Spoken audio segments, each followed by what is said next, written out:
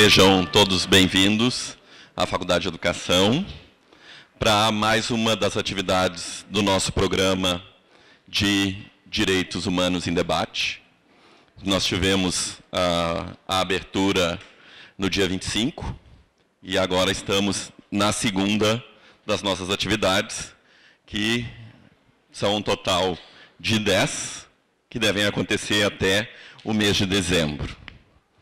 É, queria agradecer a todo mundo que está aqui, chamar para participar das demais atividades.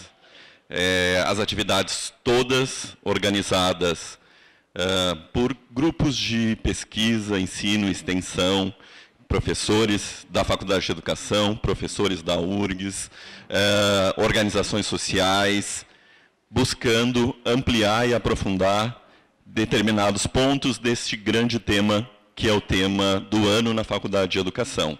Este é o ano dos direitos humanos na Faculdade de Educação. Então, hoje, daqui a pouco eu já passo a coordenação dos trabalhos para a professora Russell, que uh, trabalha, representa a organização nesse dia de hoje, pela Frente Gaúcha da Escola Sem Mordaça. Então, essa é a nossa parceria na organização da atividade hoje. Agora, a gente começa com a Educação em Direitos Humanos, Liberdade de Ensinar e Direito de Aprender. Uh, nesse primeiro momento, nessa primeira mesa, com uh, a Procuradora Federal dos Direitos Humanos Cidadão, a Débora Duprá, com a mediação do Fernando Nicolazzi e do Rodrigo Lages. Já na continuação, à noite, a gente segue com a mesa uh, com a professora... No... Não vou conseguir dizer o sobrenome da professora Nora da Unicamp. uh, com a mediação da professora Caroline Piacevich e Paula de Lima. E amanhã continuamos com uma roda de conversa com a liberdade de ensinar e a promoção de direitos humanos, uh, estratégias de encaminhamento, com a participação dos professores que enfrentam situações de assédio e dos coletivos que lutam pelo arquivamento de projetos de lei, escola sem partido e municípios da região sul. É, então, já de cara, passo a coordenação dos trabalhos. É, gostaria de registrar aqui a presença da vereadora Fernanda Melchiona e representações de todas as outras entidades que, ao longo do debate, vai ser oportunizado a possibilidade de se manifestarem. Russell, obrigado a todos. Obrigada, César.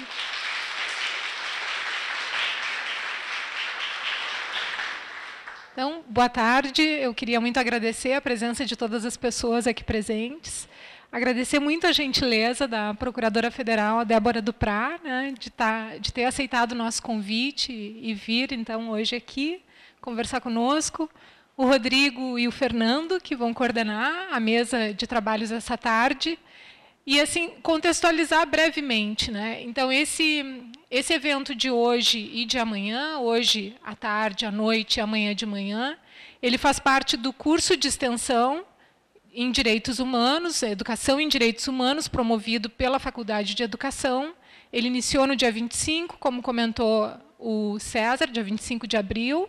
Agora, maio, a responsabilidade, então, ficou com a Frente Gaúcha Escola Sem Mordaça, e junho então, é um evento por mês, vai até o final do ano. Junho vai ser o tema da saúde, educação, saúde e direitos humanos.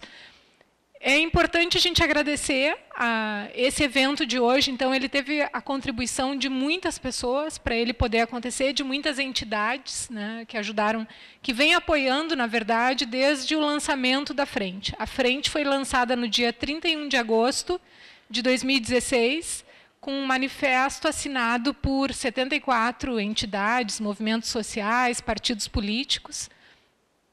E agora, então, esse, então a gente teve o lançamento lá em agosto de 2016, depois tivemos o Fórum das Resistências em janeiro de 2017. O ano passado tivemos a Maria Heder da campanha nacional pelo direito à educação conosco, e esse é o nosso então, quarto né, grande evento desde o lançamento. Mas, além disso, a Frente tem participado de audiências públicas uh, nos municípios em que tem projetos da Escola Sem Partido, uh, aqui na capital, em Porto Alegre, e tivemos também numa audiência da Comissão Especial da Escola Sem Partido na Câmara Federal dos Deputados.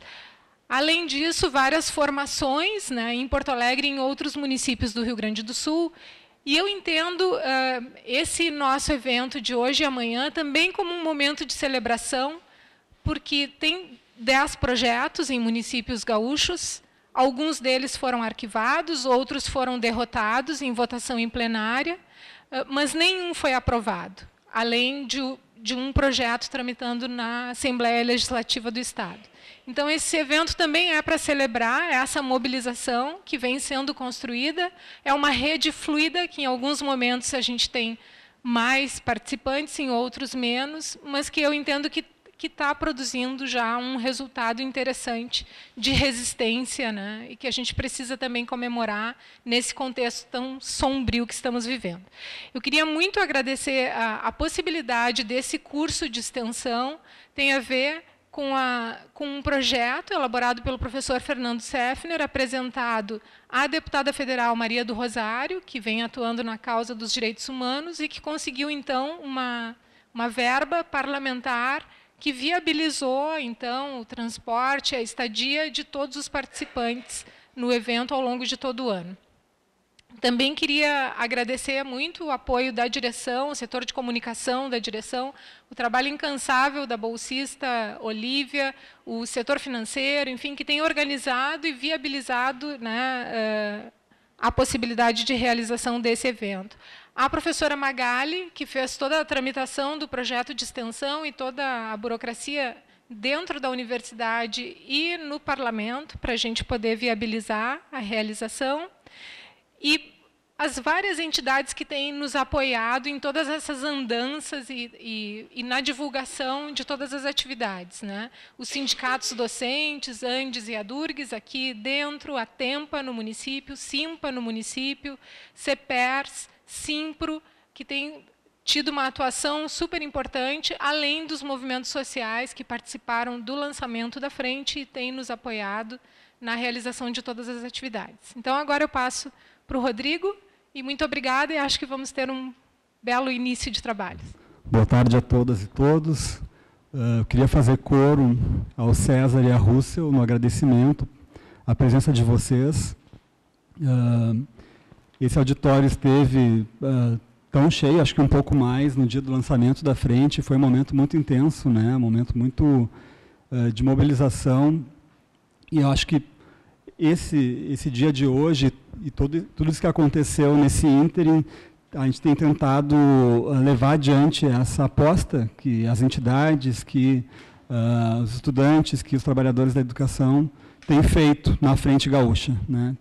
E essa aposta, acho que cabe um, um, destaque, cabe um elogio ao trabalho da Rússia nesse sentido, né? E em dar, em organizar, em, em, em chamar as pessoas para estarem juntos, em dialogar com as diversas uh, entidades, com seus diferentes pontos de vista e tentar mediar isso da melhor, da melhor maneira.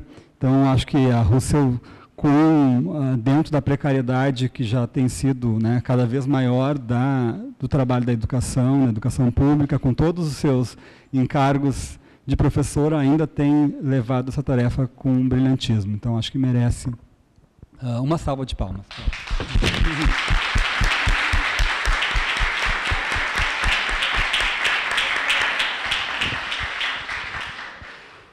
Uh, e também agradecer a presença da Débora, a oportunidade de estar ao lado do Fernando, que tem sido também um parceiro nessa, nesses trabalhos da frente.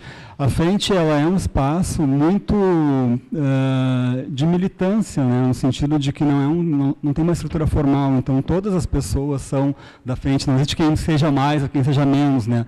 Agora, o que, o que a gente tem uh, sentido desde aquele momento do lançamento da frente, da produção do manifesto, é que existem várias maneiras de colaborar. Né? Então, a gente tem colegas, tem professores que dão seu apoio em outros espaços, ou no espaço virtual, ou uh, uh, vindo nas reuniões, enfim, tem muitas maneiras. Né? Uh, e a gente tem, nesse meio tempo, trabalhado muito na lógica da convocação. Né? Então, pouco, no, pouco à frente tem conseguido ser necessariamente tomar a dianteira dos processos ou propor, e mais a gente consegue é atender as demandas né, que os espaços escolares, que as escolas, que as universidades têm feito para debater esse assunto. Né. Então, esse momento é muito importante por isso, porque de alguma maneira também é o esforço que a gente consegue fazer para uh, uh, organizar uh, uma fala. Né. Bom, sobre o que a gente quer falar. Né. E, e, e, claro que toda vez que a gente vai nesses espaços de formação, nós temos algo a dizer, mas é muito na emergência, né? na lógica da emergência, desde esse lançamento da frente. Na sequência veio o debate da PEC, as ocupações. A gente tem trabalhado muito numa lógica emergencial. Né? E a aposta que fazemos na educação é justamente entender que, uh, para poder pensar, para poder construir relações uh, de ensino-aprendizagem, relações educacionais produtivas, nós precisamos fugir um pouco dessa dimensão da emergência, né? dessa dimensão do choque, do, do, do, do, do, do medo né? que a gente tem vivido. E eu acho que essa é a, a, talvez o que torne tão importante lutar contra esse projeto, né? porque ele uh, é mais uma dessas estratégias que se coloca uh, na sequência de, de, de uma mobilização emocional, afetiva né, das pessoas no sentido de, do medo. Então, criminalizando os professores, dando a entender que, que, os, que os professores estão desencaminhando os estudantes, desencaminhando as crianças, né, fazendo um apelo ao senso comum. E é muito difícil, né, é muito difícil uh, lidar contra esse discurso, porque eles têm um significante que funciona melhor do que uh, sem mordaça. Né? Isso é uma dificuldade que a gente tem enfrentado. Quer dizer, falar escola sem partido funciona muito melhor do que falar escola sem mordaça. Né? Por quê? Porque, bom, a escola já não tem partido, já não, não tem que ter, já não tem. Ou seja, eles afirmam algo que a gente também uh, gostaria, não gostaria de afirmar, porque não acha que seja necessário afirmar, mas com, com o qual a gente concorda no fundo. Né? É que não é essa a questão, né? é que esse não é um projeto sobre a escola não ter partido, né? é um projeto sobre. Uh, uh, limitar né, o espaço de, de interação dos professores, né, uh, limitar a, a, a, amplitude do diálogo no âmbito educacional, né, tornar a educação como sem desassombro, eles falam na página né, que professor não é educador, né, tornar a educação mera instrução. Né. Então, uh, só tem uma maneira, né, a gente entende, de, de fazer frente a isso, que é uh, apostar no diálogo, apostar nesse espaço de poder se escutar, poder ouvir, escutar inclusive ideias contrárias e argumentar, né, e não cair nessa, nesse, nessa regimentação pelo medo.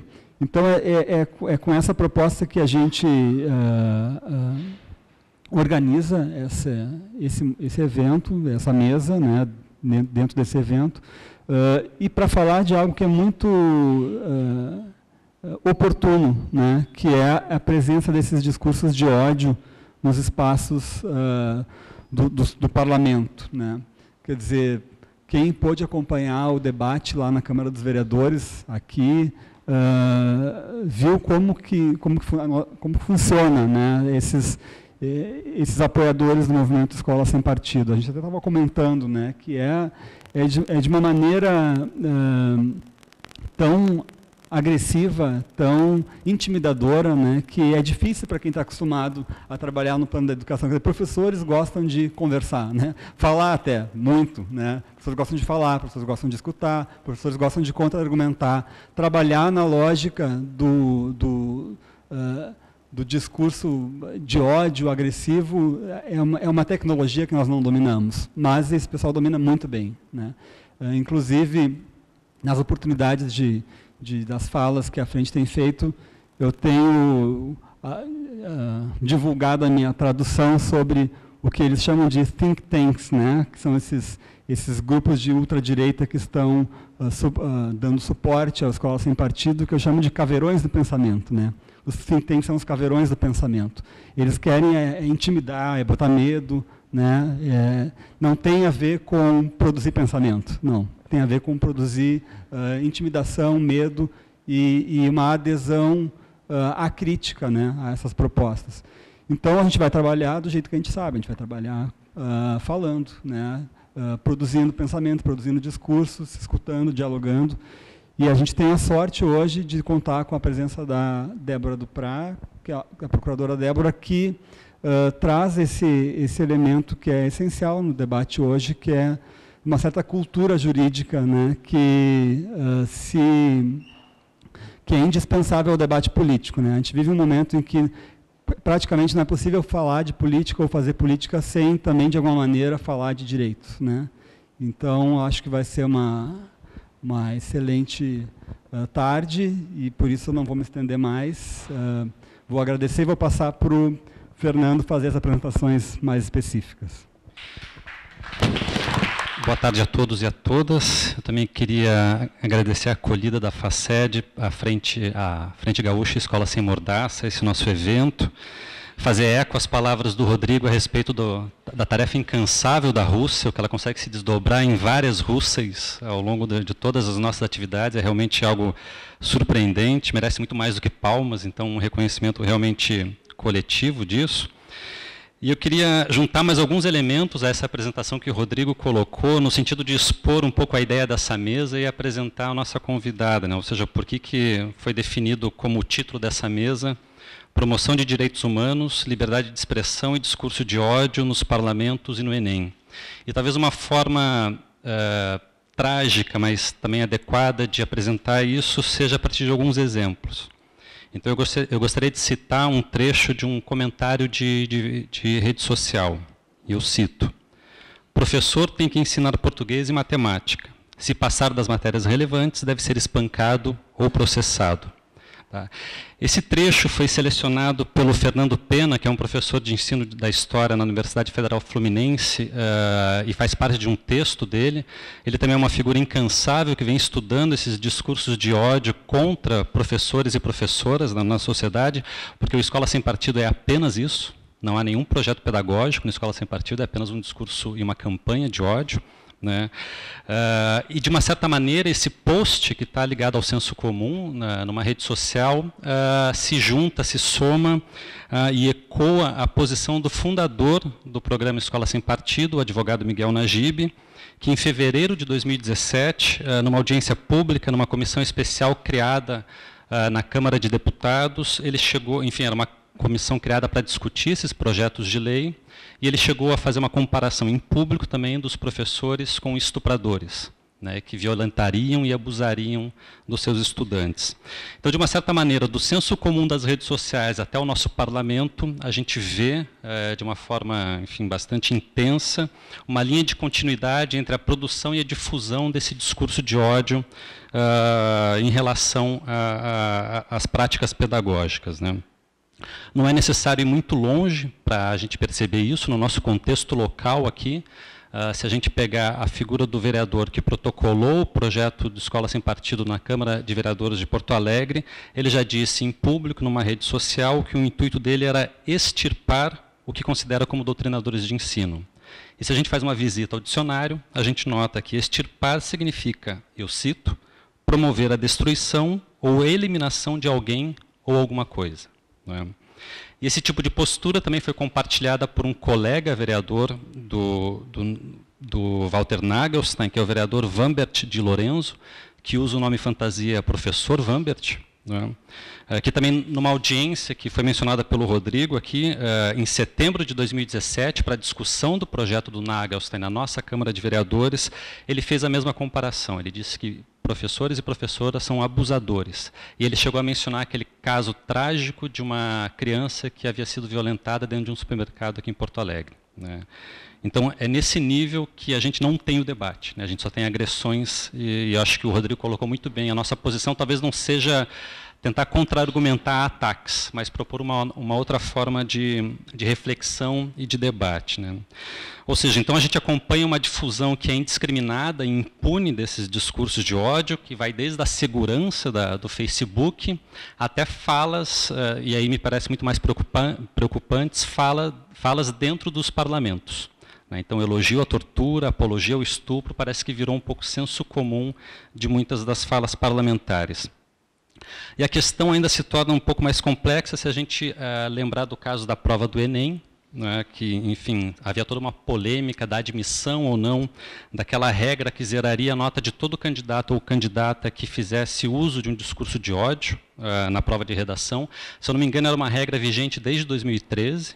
Né, e aí, a pedido, enfim, por um requerimento do Escola Sem Partido, o STF achou por bem anular essa regra.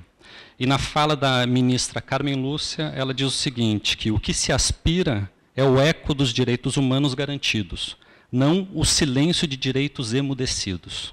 É?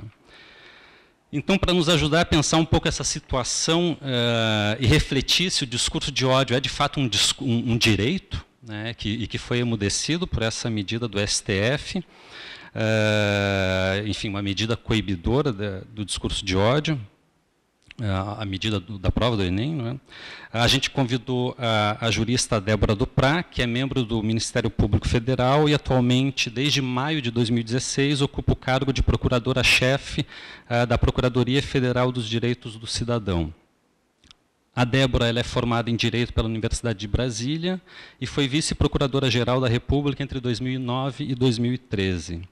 E aí, por uma série de intervenções públicas, por notas técnicas, por uh, recomendações, a Procuradoria dos Direitos uh, do Cidadão vem atuando de forma bastante intensa e contundente na nossa sociedade, sobretudo na defesa de princípios que garantam, uh, de fato, o exercício efetivo e pleno da cidadania. Né?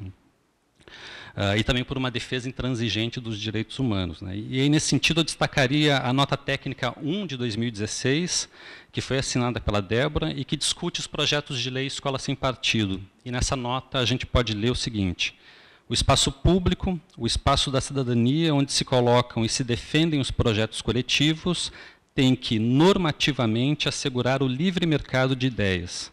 E a escola, ao possibilitar a cada qual o pleno desenvolvimento de suas capacidades e ao preparar para o exercício da cidadania, tem que estar necessariamente comprometida com todo tipo de pluralismo. Né? Eu destaco ainda o posicionamento da Procuradoria, uh, num texto que também é assinado pela Procuradora Débora, que é contrário ao caráter impositivo da medida provisória que reformulou o ensino médio, né, e que, por ter sido essa, essa imposição autoritária do Poder Executivo, esvaziou do debate público o que a sociedade espera que seja o ensino médio no Brasil. E, por fim, só para não me alongar, eu mencionaria a nota técnica 11 de 2016, que foi assinada pelo Grupo de Trabalho Educação e Direitos Humanos, da Procuradoria de Direitos do Cidadão, que se posicionou a favor da legitimidade dos movimentos de ocupação nas escolas e nas universidades em 2016. E aí a gente lê nessa nota né, que, enfim, é, ele é considerado como um evento político constitucional e não como um ato criminoso. Né? E acho que foi um movimento extremamente importante na nossa sociedade. Né? Nós tivemos aqui a posição dos secundaristas em Porto Alegre, foi algo realmente é, impressionante, muito salutar. E acho que essas manifestações da Procuradoria dos Direitos do Cidadão é fundamental para nos orientar também como nos posicionarmos diante dessas situações.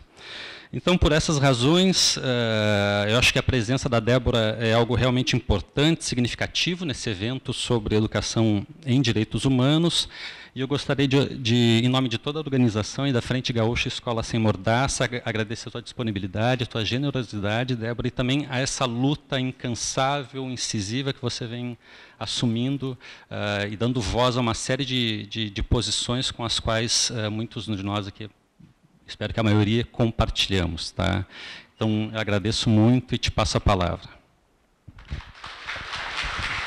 Boa tarde a todas. Eu aprendi com uma amiga minha, Luma, uma trans, que nós temos que sequestrar a linguagem, nós temos que sequestrar a gramática. Né?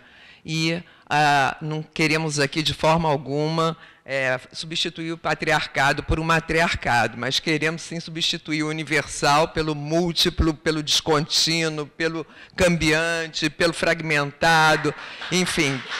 Né? Então,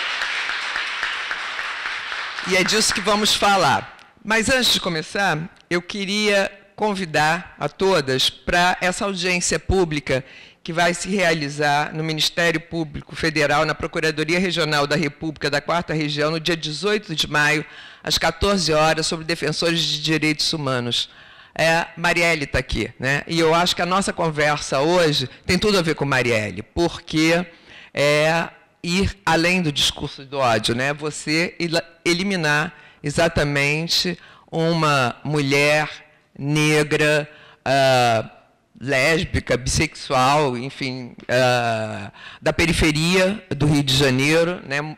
É, lutadora das populações é, chamadas periféricas, e a gente vai problematizar esse termo também, é, lutava também pela, pelo pluralismo religioso, trabalhava com comunidades de terreiro e, enfim, foi eliminada o que é também um atentado à democracia, né? porque nós eliminamos do parlamento uma voz contra-majoritária. Então, eu acho que é bastante importante nós pensarmos na atualidade como vamos nos mobilizar para multiplicar defensoras de direitos humanos e protegê-las, principalmente. Então, está aqui o convite.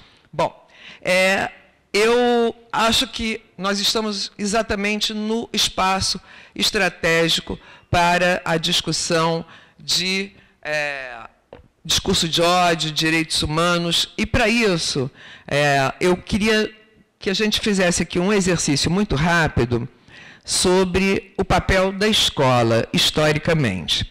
Mas vamos começar um pouco antes. Vamos começar pela história inaugural do Brasil. Né? O Brasil ele se inicia como um empreendimento masculino, branco, europeu, né, que entra, invade é, territórios indígenas, nega a alteridade, é, impede o exercício de direitos culturais, captura é, pensamentos, ideias, línguas desses povos, toma conta dos seus territórios e aqui se instala.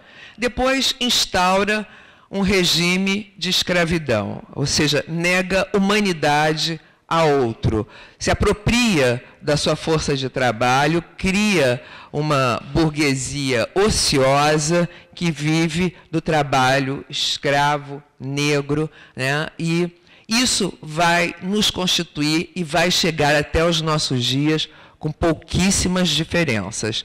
Se vocês, é, quem não é do direito, talvez vai se surpreender que nós tenhamos uma Constituição absolutamente emancipatória, mas direitos integrais para a empregada ou para o empregado doméstico só foram conseguidos por meio de uma emenda constitucional. O que significa que até muito recentemente nós reproduzíamos toda, todo o ideário da eh, escravidão. Mantínhamos alguém dentro de uma arquitetura da casa que reproduz a casa grande senzala, um quartinho sem janelas, sem ventilação, com a disposição total do trabalho de, é, da força de trabalho dessa pessoa, geralmente sem folgas, sem direitos. Então, é, nós tivemos ainda como reforço dessa história original, é, muito marcada pela violência e pelo ódio à alteridade, uma, é, nos alcança a concepção é, de Estado no, é, de Estado-nação, que é instituída aí é, no mundo ocidental e que a sua ideia central é da homogeneidade. Né? Muitos estudantes de história né, aprenderam que nós vivemos em, em estados nacionais caracterizados por um único povo, uma única língua, uma única cultura, uma única história. Só que isso nunca existiu no mundo real.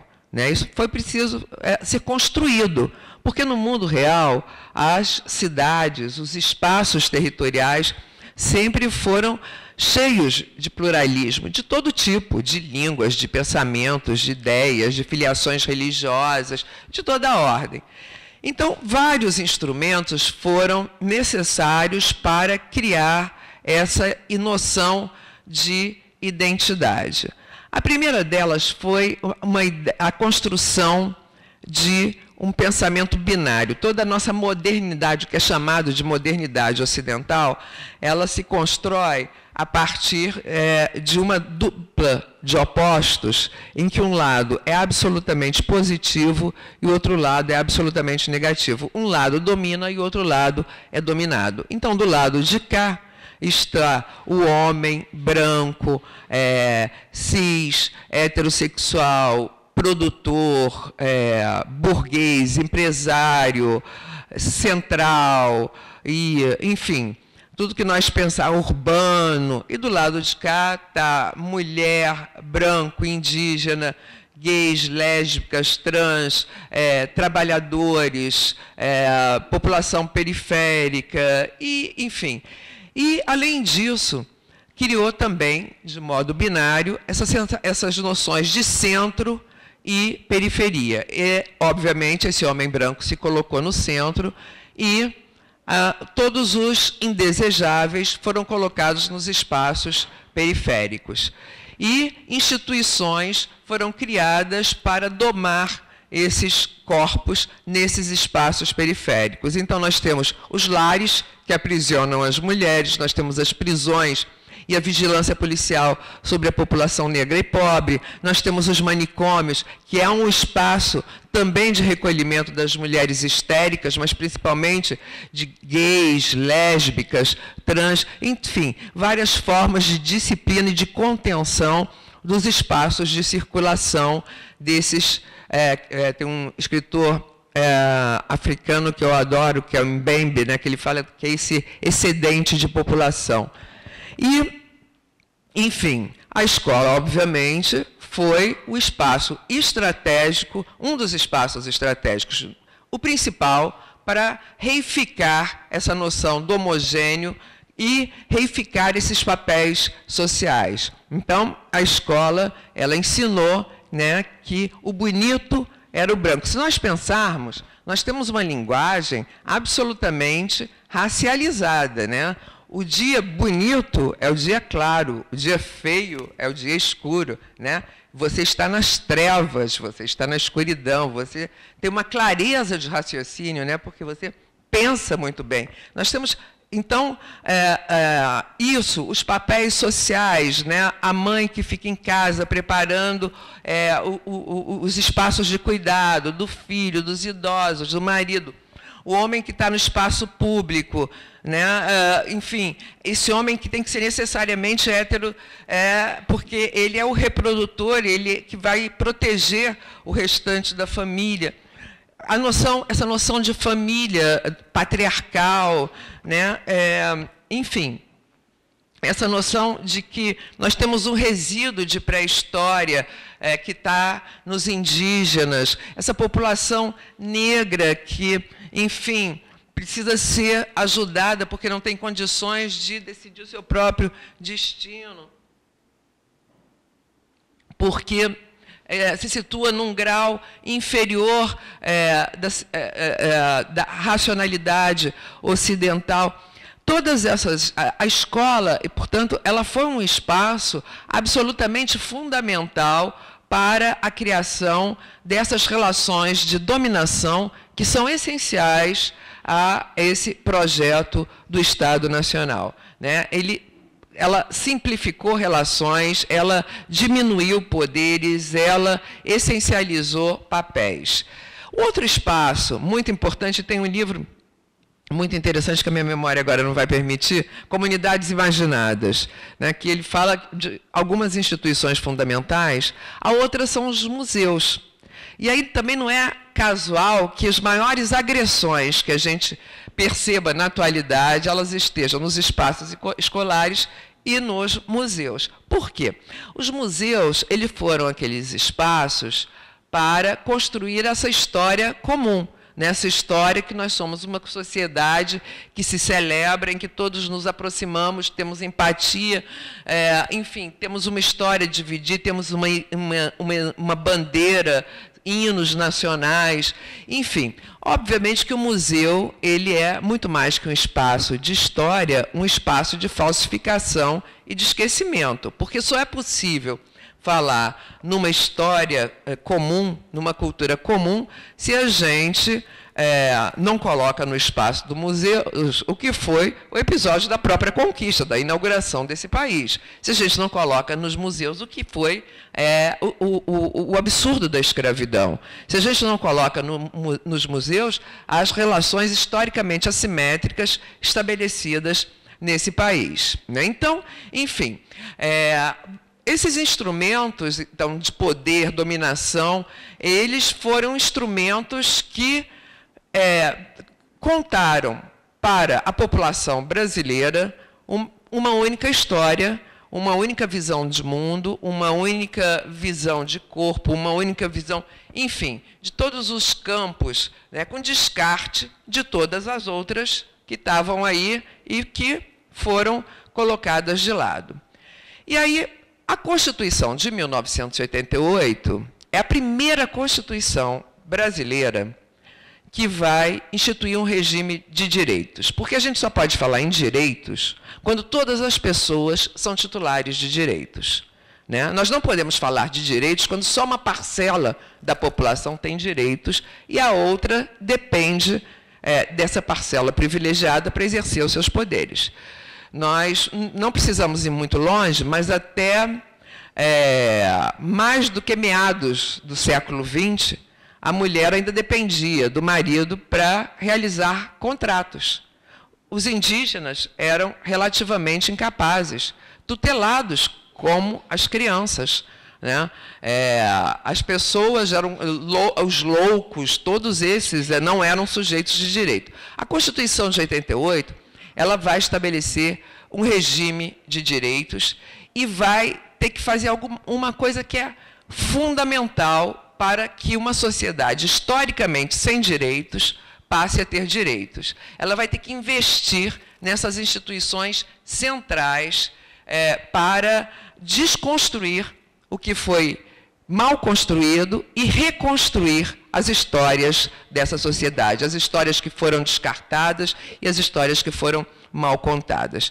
E o espaço estratégico, primeiro, obviamente, foi a escola. Né? Então, a escola, ela foi pensada na Constituição de 88 não como um espaço neutro, mas um espaço para a correção das assimetrias e das injustiças históricas desse país.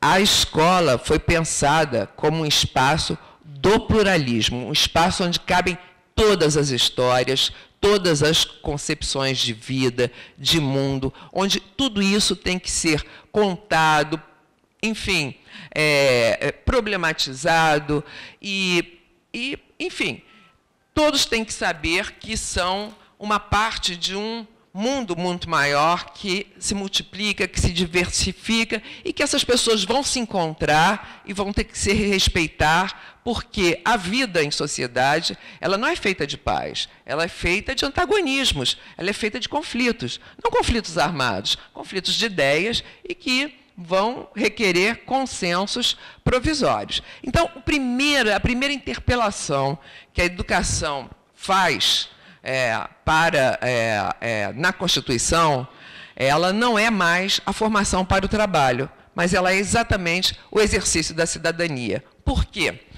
Esse exercício da cidadania é exatamente a recuperação para os setores é, chamados periféricos, aqueles que foram intencionalmente colocados nas margens, ocuparem o centro, ocuparem a voz, ocuparem palavra, ocuparem os espaços públicos, porque é na rua onde as nossas divergências vão ser resolvidas, é na rua onde nós é, nos comunicamos, é na rua onde nós disputamos ideias, enfim. É, e, por isso, é, a Constituição e também porque vinha de um passado autoritário, porque nós ainda, né, no meio dessa história, nós temos algumas ditaduras, né, vários silenciamentos, muita morte. Ela é, é uma escola, é, enfim, ela tinha que ser um elemento indutor da palavra. Tinha que se falar muito, muito, muito, porque tudo que não foi dito tinha que ser dito. As pessoas tinham que ser estimuladas a participar, né, liberdade de reunião, associação, expressão, de cátedra. Então, ela é uma Constituição que investe muito na palavra, nessas liberdades expressivas, mas investe numa figura central também, que é o professor. Ela, em vários momentos, professora, professora, eles têm esse desafio absurdo né, de re recuperar histórias não contadas, de desmistificar é, histórias falseadas, tem é, esse papel de trazer para disputa pública atores e atrizes que nunca foram vistos como tal. Então, a Constituição ela vai falar muito na valorização é, do profissional, da profissional de ensino. É, vai falar em termos de carreira, vai falar em termos de, é, de, de piso salarial, mas vai falar principalmente nessa liberdade de ensinar, nessa liberdade de se colocar é, é, é, de ter, enfim, de ter a possibilidade de contar histórias que não venham a ser proibidas como foram até recentemente. Né? É, enfim, a escola ele é o espaço que mais recusa o silenciamento, porque é o, é o espaço que vai recuperar a voz. Né? Então, esse foi o pensamento constitucional, digamos assim, da escola. Eu vou falar de outras é, é, coisas que vão se agregar a esse quadro negativo do Escola Sem Partido. Bom, e aí vem esse movimento, alguns anos depois da Constituição de 88, querendo silenciar a escola. Né? A primeira coisa que, ah, é, é, enfim, que ele vai cobrar é a neutralidade. Né? Quando a gente fala que a neutralidade ela foi uma máscara da dominação. Né? Numa sociedade plural, nós temos que deixar claras as nossas relações, exatamente para impedir a dominação. E a escola tem que tomar o lado das, como eu disse, das histórias descartadas, das vidas descartadas das pessoas que menos valiam. Então, é a primeira coisa. A escola é o espaço da política, porque a política é o espaço da discussão pública. É, dá uma notícia de uma última, é, é, uma última informação da Procuradoria Federal de Direito Cidadão. Meu adjunto Domingos está aqui também, é, também professor dessa universidade, e é, que foi é, nos posicionarmos a favor dos cursos que falam do golpe de 2016. Né? Então, essa foi a nossa última posição porque a escola é exatamente o local apropriado para essas discussões. Se a gente cala dentro das escolas, a gente chama pela violência, porque se as coisas não se resolvem no plano das ideias, elas vão se resolver no plano das lutas físicas. E por isso que eu falo, Marielle é uma desse, desses atos covardes em que você não consegue resolver diferenças e mata. Então, a primeira coisa é essa. É, a na verdade, esses projetos, eles falam muito né, da partidarização da escola, da politização da escola, mas não é essa a preocupação. Ah, esses projetos, eles têm uma preocupação moral, uma preocupação que é muito mais é, é, é de natureza quase religiosa do que política. O que eles querem, na verdade, é recuperar aquele espaço hegemônico concebido pela dominação, que é, é enfim, é, contar a história é, de uma única moral, que é essa moral, é, enfim, branca, cristã, que foi contada ao longo do, dos tempos. A primeira coisa que eles reclamam é da questão das famílias. Né? E aí falam, nós não podemos, tem um quadrinho lá que diz o que não se pode falar em sala de aula é alguma coisa que contrarie a moral das famílias. Né? Isso está lá. E aí a gente vai perguntar, bom, o que, que o professor ou a professora vão falar dentro de sala de aula? Porque se a escola é um espaço plural, se nós temos múltiplas concepções de vida, de que família ele vai falar que vai agradar todo mundo. Né? Lembrando que, bom, essa família, papai, mamãe e filhinhos, ela é um modelo de família. O Supremo Tribunal Federal já disse que tem outros. Não sou nem eu, né? A Suprema Corte reconheceu a união homoafetiva. Agora, é, houve uma discussão no Conselho Nacional de Justiça sobre o registro das uniões poliafetivas. Né? É, enfim, é, grupos indígenas, eles têm uma concepção de família que alcança elementos da natureza, porque acreditam que eles só provisoriamente assumem a forma humana, mas há elementos da natureza que estão ali também provisoriamente para assumir o lugar, o seu lugar, quando ele assumir uma forma da natureza, porque não, não, não conseguem enxergar essa distinção entre natureza e cultura. Enfim, é, para algumas religiões de matriz africana, as relações com os orixás são relações familiares muito mais fortes do que relações biológicas. Então, que moral familiar nós estamos aqui a defender no âmbito da escola. Né? Que família, que modelo de família. É, a família da mulher que sozinha sustenta os seus filhos, que, é, que segundo o IBGE corresponde a mais de 50% dos lares brasileiros. É, enfim, as famílias com crianças adotivas, que famílias nós estamos falando? Né? Então, é a primeira coisa que não é explicitado no projeto, é de que, é, é de que moral estamos falando e de que família estamos falando. Mas, rigorosamente, o que é, ele evidencia é, uma, é, é, esse sentimento de quem perdeu no processo constituinte e agora quer trazer de volta o que havia antes, né? um pensamento hegemônico e é, com essas características que foram é, reificadas pela escola ao longo do tempo. A segunda é porque um outro princípio que essa, esse projeto ele, ele agride é o princípio da laicidade do Estado. Né? O Estado é laico, o Estado não tem religião, o Estado não tem moral. Né? A única moral do Estado é garantir o pluralismo, o pluralismo de todos os níveis. Né? E essas é, são iniciativas fortemente marcadas e fortemente aliadas com a religião, tanto que veiculadas geralmente pelas bancadas religiosas das assembleias legislativas, dos parlamentos de uma maneira geral. Né? Esses projetos são inconstitucionais porque eles desafiam exatamente essa, essa ideia central que eu falei para vocês, da escola como espaço de construção de cidadania. A escola ensinando meninas e meninos que crescem iguais em direitos. Meninas e meninos, ensinando meninas e meninos que entre homem e mulher existe uma pluralidade de expressões de corpos, expressões de identidade, expressões de gênero, porque a sociedade se conforma desse jeito e não porque estejamos inventando alguma coisa ou querendo promover é, esse tipo de coisa. Depois, porque, mesmo na perspectiva da criança e do adolescente, que eles dizem, ah, temos que proteger as nossas crianças de, é, é, é, desse tipo é, de é, discurso, enfim. Primeiro, que é uma visão equivocada quanto à própria criança. Né? A criança também, a partir da Constituição de 88, ela passou a ser objeto do direito, objeto de cuidado, de proteção, para ser sujeito de direitos.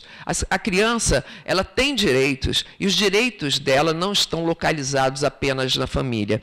Porque a criança tem direito a se constituir a partir do que ela aprende com as suas múltiplas relações que ela vai estabelecendo ao longo da vida ela vai ter relações de vizinhança, ela vai ter relações na escola, ela vai ter relações lúdicas, vai ter relações familiares, enfim. E essas relações vão é, formando a criança. Se a criança se formasse apenas dentro do espaço familiar, ela não ia conhecer a diversidade que está nas ruas e se preparar tão pouco para esse exercício da cidadania.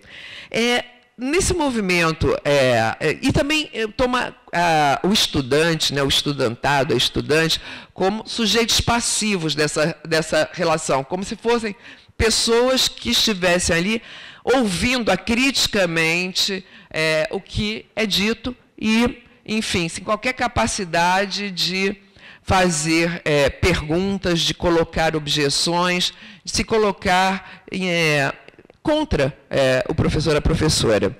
E eu estava comentando é, com Rodrigo e Fernando agora na hora do almoço que uma das coisas mais interessantes que eu escutei naquele movimento de ocupação é, das escolas é, pelos estudantes e pelos estudantes secundaristas foi que naquele período eles aprenderam, elas aprenderam mais do que todo o semestre escolar, porque eles é, conseguiram é, derrubar os muros da escola, conseguiram compreender o entorno onde estava localizada a escola, conseguiram ter essa experiência do é, é, é do múltiplo, ter essa, é, é, das várias perspectivas de vida, de desnaturalizar impressões que ainda hoje são tidas como muito comuns. Por exemplo, é, diálogos mantidos com população de rua, né, olhando assim, nossa, mas você é vulnerável. E uma, um, um integrante, da, é, enfim, da, uma pessoa da rua falando assim, eu não sou vulnerável.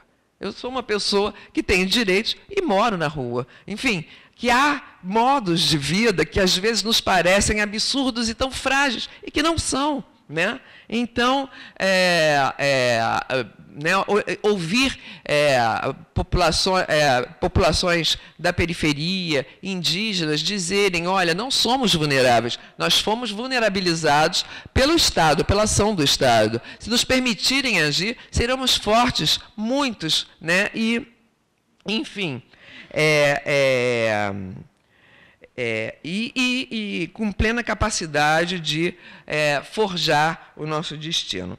Enfim, é, só para terminar, para a gente poder ter aqui, eu acho que já falei demais.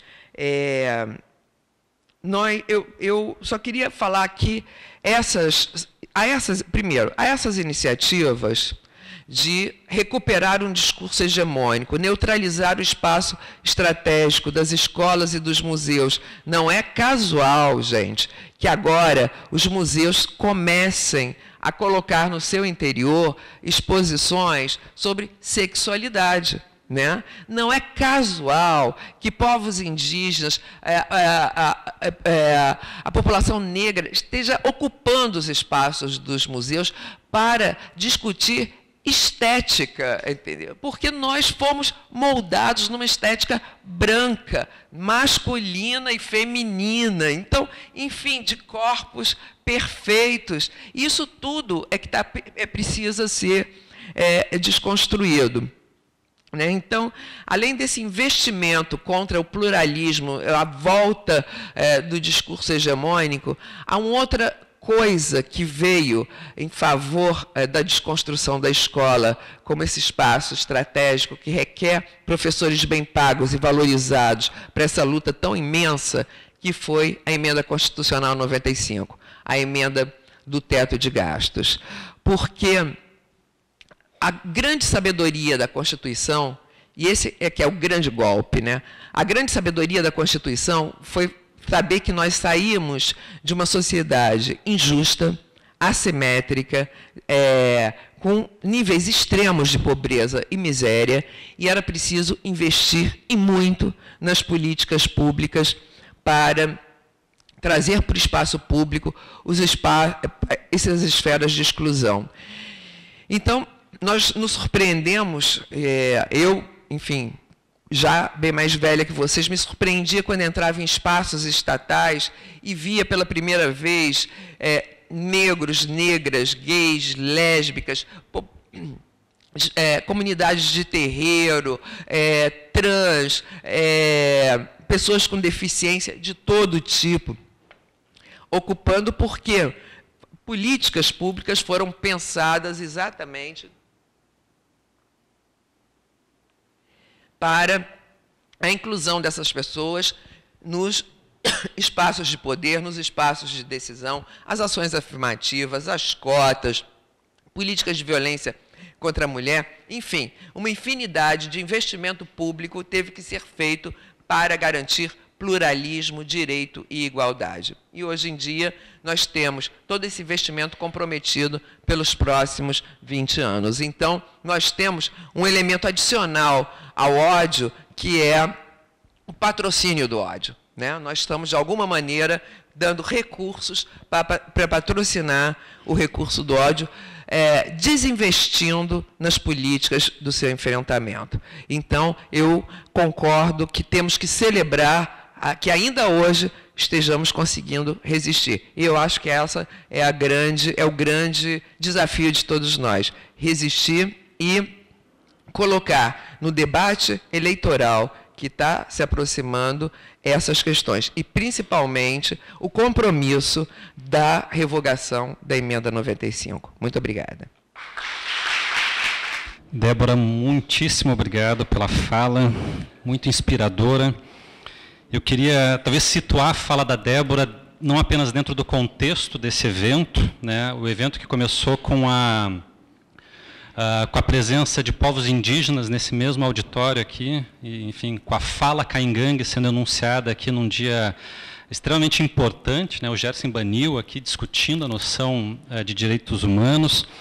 Uh, algo que não faz parte desse evento, mas que aconteceu no contexto dessa universidade, que foi quarta-feira agora, o evento de inauguração, de abertura do Festival Literário, com a presença da Conceição Evaristo, da Jaride Arraes, da Djamila Ribeiro, né, em que aquele auditório, o Salão de Atos, que é o maior auditório que nós temos aqui na universidade, estava repleto de gente, gente sentada pelo chão, e que a diversidade social estava realmente representada ali, algo que não é tão comum na nossa na nossa universidade. Então, eu acho que a, a tua fala vem muito para complementar todo esse anseio que muitos de nós temos em transformar a nossa sociedade e, e usar a universidade como um espaço privilegiado para isso, né, como uma forma de resistência e realmente de ação efetiva. Tá? Uh, eu vou só talvez a gente vai abrir para discussão. Talvez eu vou colocar um iniciar um pouco aqui o, o, com algumas perguntas. Depois eu passo para o Rodrigo também. Uma delas é muito pontual é, para a gente saber se a gente pode ficar um pouco tranquilo ou mais preocupado ainda, que é o fato de que o seu mandato está sendo está vencendo agora em maio de 2018. Se há chance de você ser reconduzida ao cargo, como é que está isso? Porque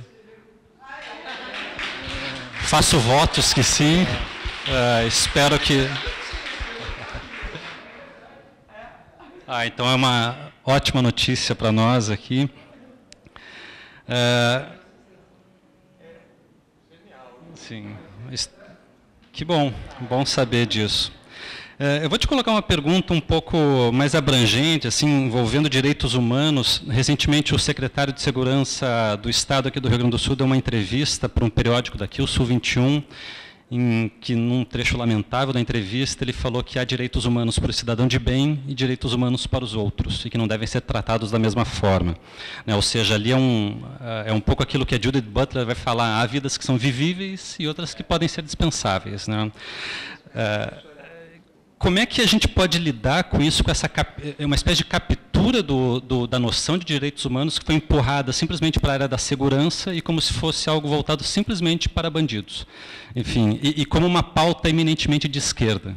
Quer dizer, desconsidera-se toda a origem liberal dos direitos humanos, toda a trajetória histórica da construção disso, Uh, e toda a noção abrangente que envolve direitos humanos, que é moradia, alimentação, saúde, que não diz respeito apenas à, segurança. Né? E a educação tendo um papel importantíssimo disso. Né? Ou seja, uh, não é bem uma receita que eu estou te pedindo, mas como é que a gente pode uh, tomar de volta esse discurso né, e situar de fato o tema do, dos direitos humanos na amplitude que ele merece ser abordado, com todas as, as, as os matizes, talvez que a gente tenha que ser colocado, e foi colocado pelo pelo Gerson Banil na primeira noite aqui, uma matriz eurocêntrica, etnocêntrica, quer, é, quer dizer, quem é que está contemplado por essa ideia iluminista de humanidade, né? como é que a gente pode abranger, explodir um pouco essa ideia para contemplar de fato a pluralidade social. Né?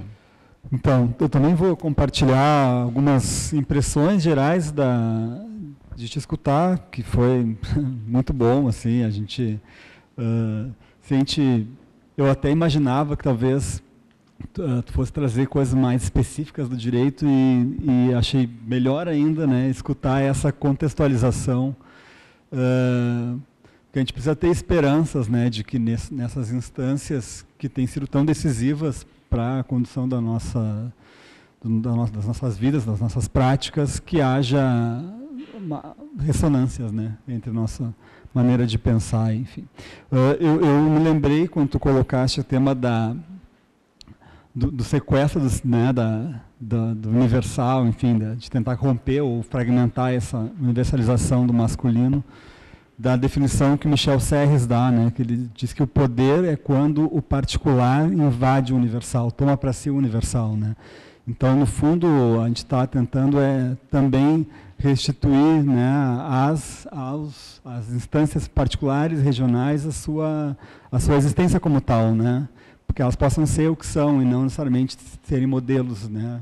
Isso é bom também né, para nós homens, para todos os homens. É bom poder não ser modelo, não, não precisar ser, não, poder uh, ver o mundo né, onde haja todas as, as possibilidades.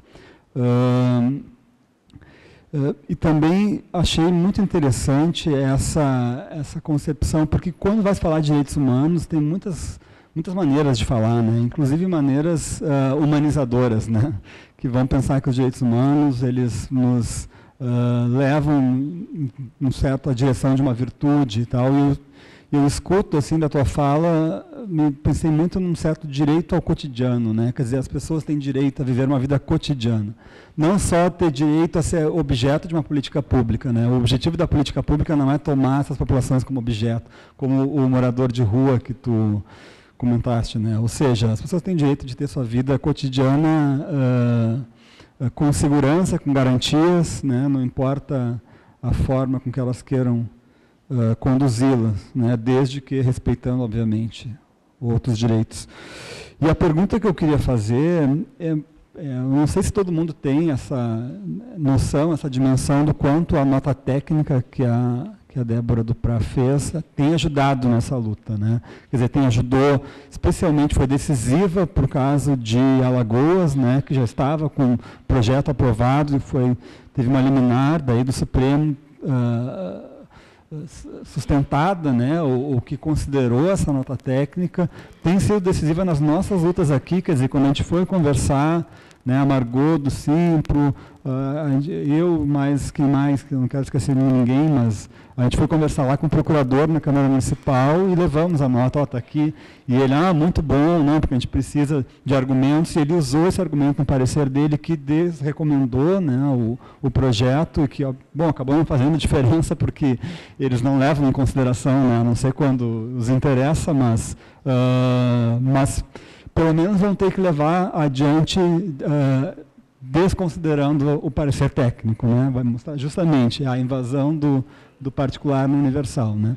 E, então, essa nota técnica ela tem sido um instrumento de, de resistência muito importante para a gente, e a minha pergunta é uh, como é que foi nesse, né, nesse ambiente onde ela circulou a recepção frente aos pares, né? porque até a gente estava comentando antes o quanto, às vezes, também quem está de fora tem a sensação de que o ambiente jurídico no país, judiciário mais do que jurídico, está fragmentado também, polarizado.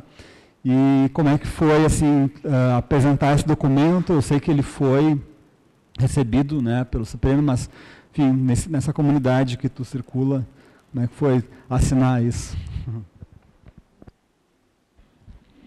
Bom, eu não sei é, se todo mundo sabe a origem é, dos direitos humanos nessa concepção que chega aos nossos dias. É, essa, essa figura jurídica ela é uma resposta às atrocidades da Segunda Guerra Mundial. Né? O que, que foi a Segunda Guerra Mundial? Foi exatamente o extermínio de todas as diferenças. Né? A gente lembra muito dos judeus, é, que foi o povo é, em, em, quantidade maior, mas todas as pessoas com deficiência, uh, gays, lésbicas, uh, muitas, múltiplas diferenças foram uh, exterminadas em nome dessa homogeneidade que eu falei para vocês, que foi a marca dos Estados nacionais. Então, ela surge é uma concepção ocidental, iluminista, de que cada pessoa encarna em si um valor e um direito. Né? É, mas essa, é, todas as coisas, é, a, gente sofre muito essa visão ocidentalizada, temos que problematizá-la o tempo todo, porque é, ela, ela não é neutra. Né? Então, eu acho que temos que é, é, colocar isso, enfim, sempre temos, vamos ter disputas de narrativas, mas o mais interessante é que essa primeira concepção de direitos na esfera individual, ela foi capturada por grupos e movimentos, dando outras dimensões, né? Primeiro na área econômica, com os direitos é, econômicos e sociais, direito ao trabalho, depois, enfim, direitos culturais, chegando até o direito ao meio ambiente, que é a visão mais anticapital que existe, né? É, você quase é, você ter é, é, muitos países adotam a, a, própria natureza como sujeito de direitos, né? Para acabar com essa visão instrumental de que nós somos os poderosos sobre a Terra e podemos ir avançando sobre tudo que está à nossa frente para construir aquilo que imaginamos que seja, é, enfim, interessante em termos econômicos. Então, é, ainda que tenha nascido como uma ideia é, iluminista e uma ideia ocidental, eles foram capturados por todos os grupos. Nós temos hoje, é, enfim, é, como eu falei, todos esses grupos que na história ocidental foram colocados às margens, hoje, pelo menos absolutamente conscientes desses é, direitos. Né? Então, são direitos de toda a ordem. Só para vocês, é, direito à saúde na, a Constituição de 88 é a primeira Constituição que reconhece o direito à saúde como um direito universal e de caráter gratuito, né? porque até então só um grupo de pessoas tinha direito à saúde. Direito à saúde, as pessoas falam, ah, o SUS, o SUS protege é, uma parcela da sociedade compromete a outra, porque aquela visão neoliberal de que nós estamos ajudando os menos capazes e e destruindo a meritocracia, a capacidade de avançar dos melhores. Né?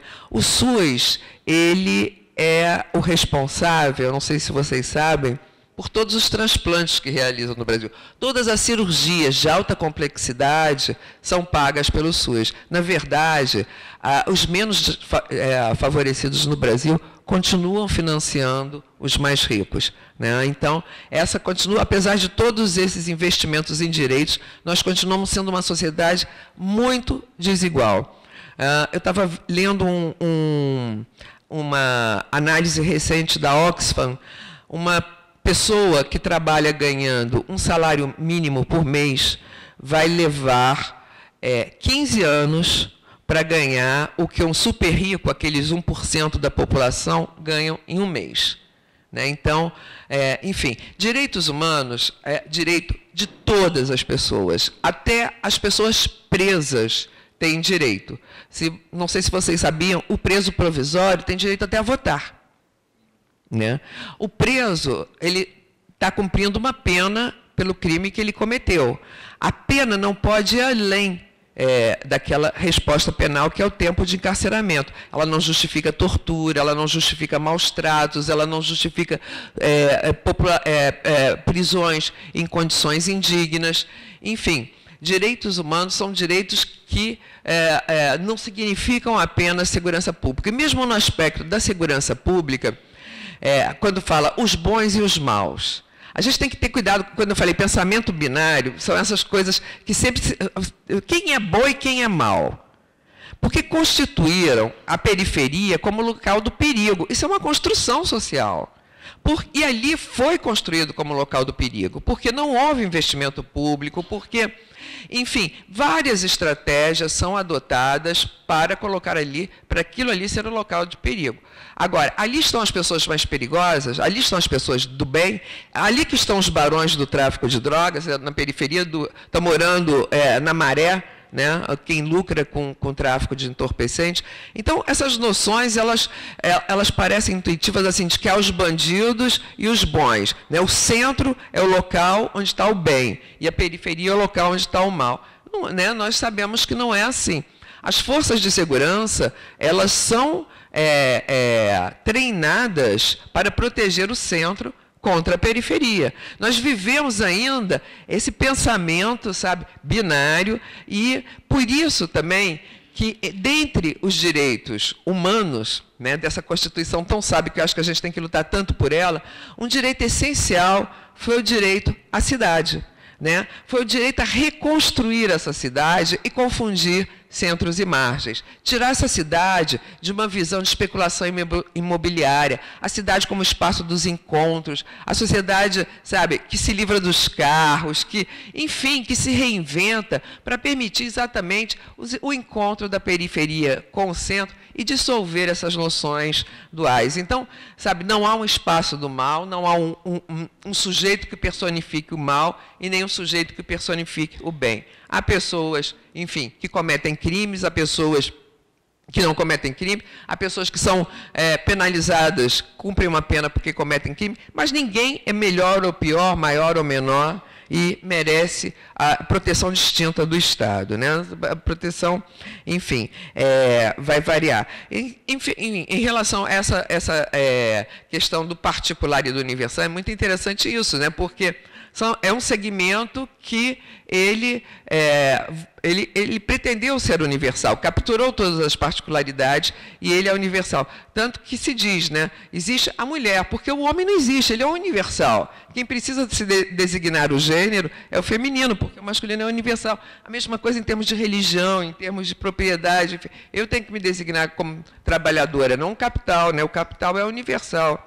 Né? e, e, e, e pensar quais as estratégias, né, como o capital nasce ocidental e como também ele se universaliza. Enfim, é, com relação à eficácia da nota técnica, foi, é muito interessante, porque é, esse movimento, ele obviamente, é, esse movimento de reação às conquistas, né, conquistas, gente, de um uma quantidade enorme de pessoas. A gente está falando até da cidade, né? do direito a dispor da cidade, do campo. O campo também foi pluralizado. O campo foi é, visto como, enfim, o espaço da concentração de terras, como um espaço também a ser é, reinventado. Então, é, esse movimento que tenta voltar para o estado anterior, né, de um, países é, ocupados e dominados por alguns poucos, né, por, pelas verdadeiras é, minorias numéricas, é um movimento que está é, alastrado no mundo todo, acho que vocês podem ver. Agora, há uma preocupação muito grande em termos de América com o Brasil, pelo tamanho, pela, pela importância que ele tem aqui em termos de geopolítica. Essa nota técnica, ela foi é, avalizada festejada e noticiada por três relatorias da ONU de Direitos Humanos. Ela eh, ensejou uma cobrança ao parlamento brasileiro pela Corte Interamericana de Direitos Humanos. Né? E, enfim, o projeto é, do Najib no Senado foi arquivado. Então, eu acho que a gente tem que é, festejar eu, as vitórias. Né? E, como foi dito aqui, elas não são poucas. Né? A disputa, então, ela continua fazendo sentido, porque ela está bastante ameaçada, mas eu acho que nesse campo é, da escola nós ainda temos chances. Oi. A gente vai abrir então para perguntas, a participação da, da audiência e. Uh, oi, meu nome é Pietro, sou estudante de educação física e não é bem uma pergunta, mas dentro desse contexto histórico que a gente está vivendo, de um desmonte do Estado Nacional Brasileiro, uh, destruição de, de direitos da população, uh, meio que me dá um alento, e acho que para os meus colegas também, dá um alento que a gente está lutando para que nossos direitos não sejam extirpados da gente. Aí eu queria agradecer a mesa uh, do PRA, a vereadora Fernanda Melchiona, que também está nessa luta. Tem outros parlamentares que já tive contato. Não tive contato com a Maria do Rosário também, que é apoiadora muito ferrenha dos direitos humanos. Uh, eu só queria agradecer e que ainda há esperança e contra a esperança a gente continua lutando. Muito bom. Boa tarde. Eu queria cumprimentar e, na verdade, fazer uma, uma consideração. Primeiro, cumprimentar a doutora Débora, doutor Domingos, que está aqui também, que fazem um trabalho excepcional e, e alentador. Né, o professor Rodrigo, Fernando, a Frente Gaúcha, na professora Rússia e o César. Cumprimentar o evento, que está maravilhoso. E, e, ao mesmo tempo, fazer duas considerações muito breves, porque foi muito profunda a sua fala, doutora Débora, e muito importante nos tempos que nós estamos vivendo.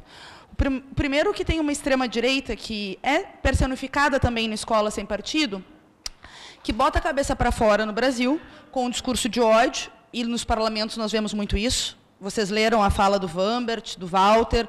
Eu vivi uma das piores noites da minha vida, o Rafael Lemes está aqui comigo, que foi a votação do Plano Municipal de Educação na Câmara, que a gente ouviu coisas assim que não se imaginava ouvir em pleno 2016, foi a votação do Plano Municipal de Educação.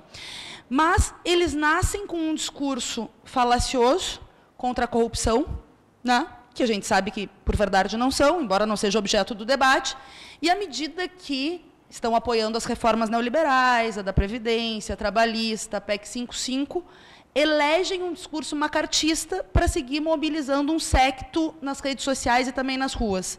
As escolas, as universidades, os artistas, como for o caso do Queer Museu e recentemente o Instituto Goethe. E eu acho que é importante comemorar as vitórias, como tu bem falaste, porque a Frente Gaúcha e as frentes têm conseguido vitórias importantes, que do ponto de vista das escolas e, sobretudo, da legislação, não prosperou. E acho que outros movimentos também têm se postulado de uma forma frontal que mostra que eles não poderão voltar à história. É uma reação conservadora também à luta das mulheres, e o movimento de mulheres se fortaleceu muito desde 2011 no mundo inteiro, da luta da negritude, que felizmente tem se fortalecido a cada ano, e a festa politerária é uma expressão maravilhosa dessa ocupação, das lutas por liberdades democráticas, como a luta dos LGBTs. Então, feita essa consideração, eu acho que lembra muito o período do macartismo, embora a sociedade fosse mais conservadora, mas essa criminalização também gerou uma reação que foi o maio de 68. Né? Nós estamos em maio, 6 de maio de 2018, 50 anos depois do início de uma greve estudantil, que também mudou a cultura, mudou os costumes e trouxe uma esperança do mundo diferente. E muitas coisas mudaram, né? Então, uh, isso para nós é importante. E do ponto de vista simbólico, essa questão da neutralidade, de manter o discurso das classes dominantes, eu vejo uma tentativa global. Nós estamos enfrentando aqui na cidade um debate simbólico, mas que não é só simbólico, né? que é o tema da entrada da cidade, que a bancada reacionária conseguiu essa liminar para devolver a Castelo Branco, que é a tentativa de... Imagina, Imagina.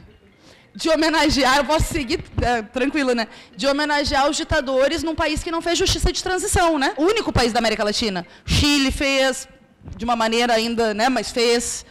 Pinochet foi julgado, o Uruguai fez, a Argentina fez, o Videla morreu preso. E aqui tem uma combinação né, dos torturadores terem entrado no Pacto de Poder da Nova República e a lei da anistia, que permitiu que esse debate não tenha sido feito na profundidade necessária para que essa história nunca mais repita. Né?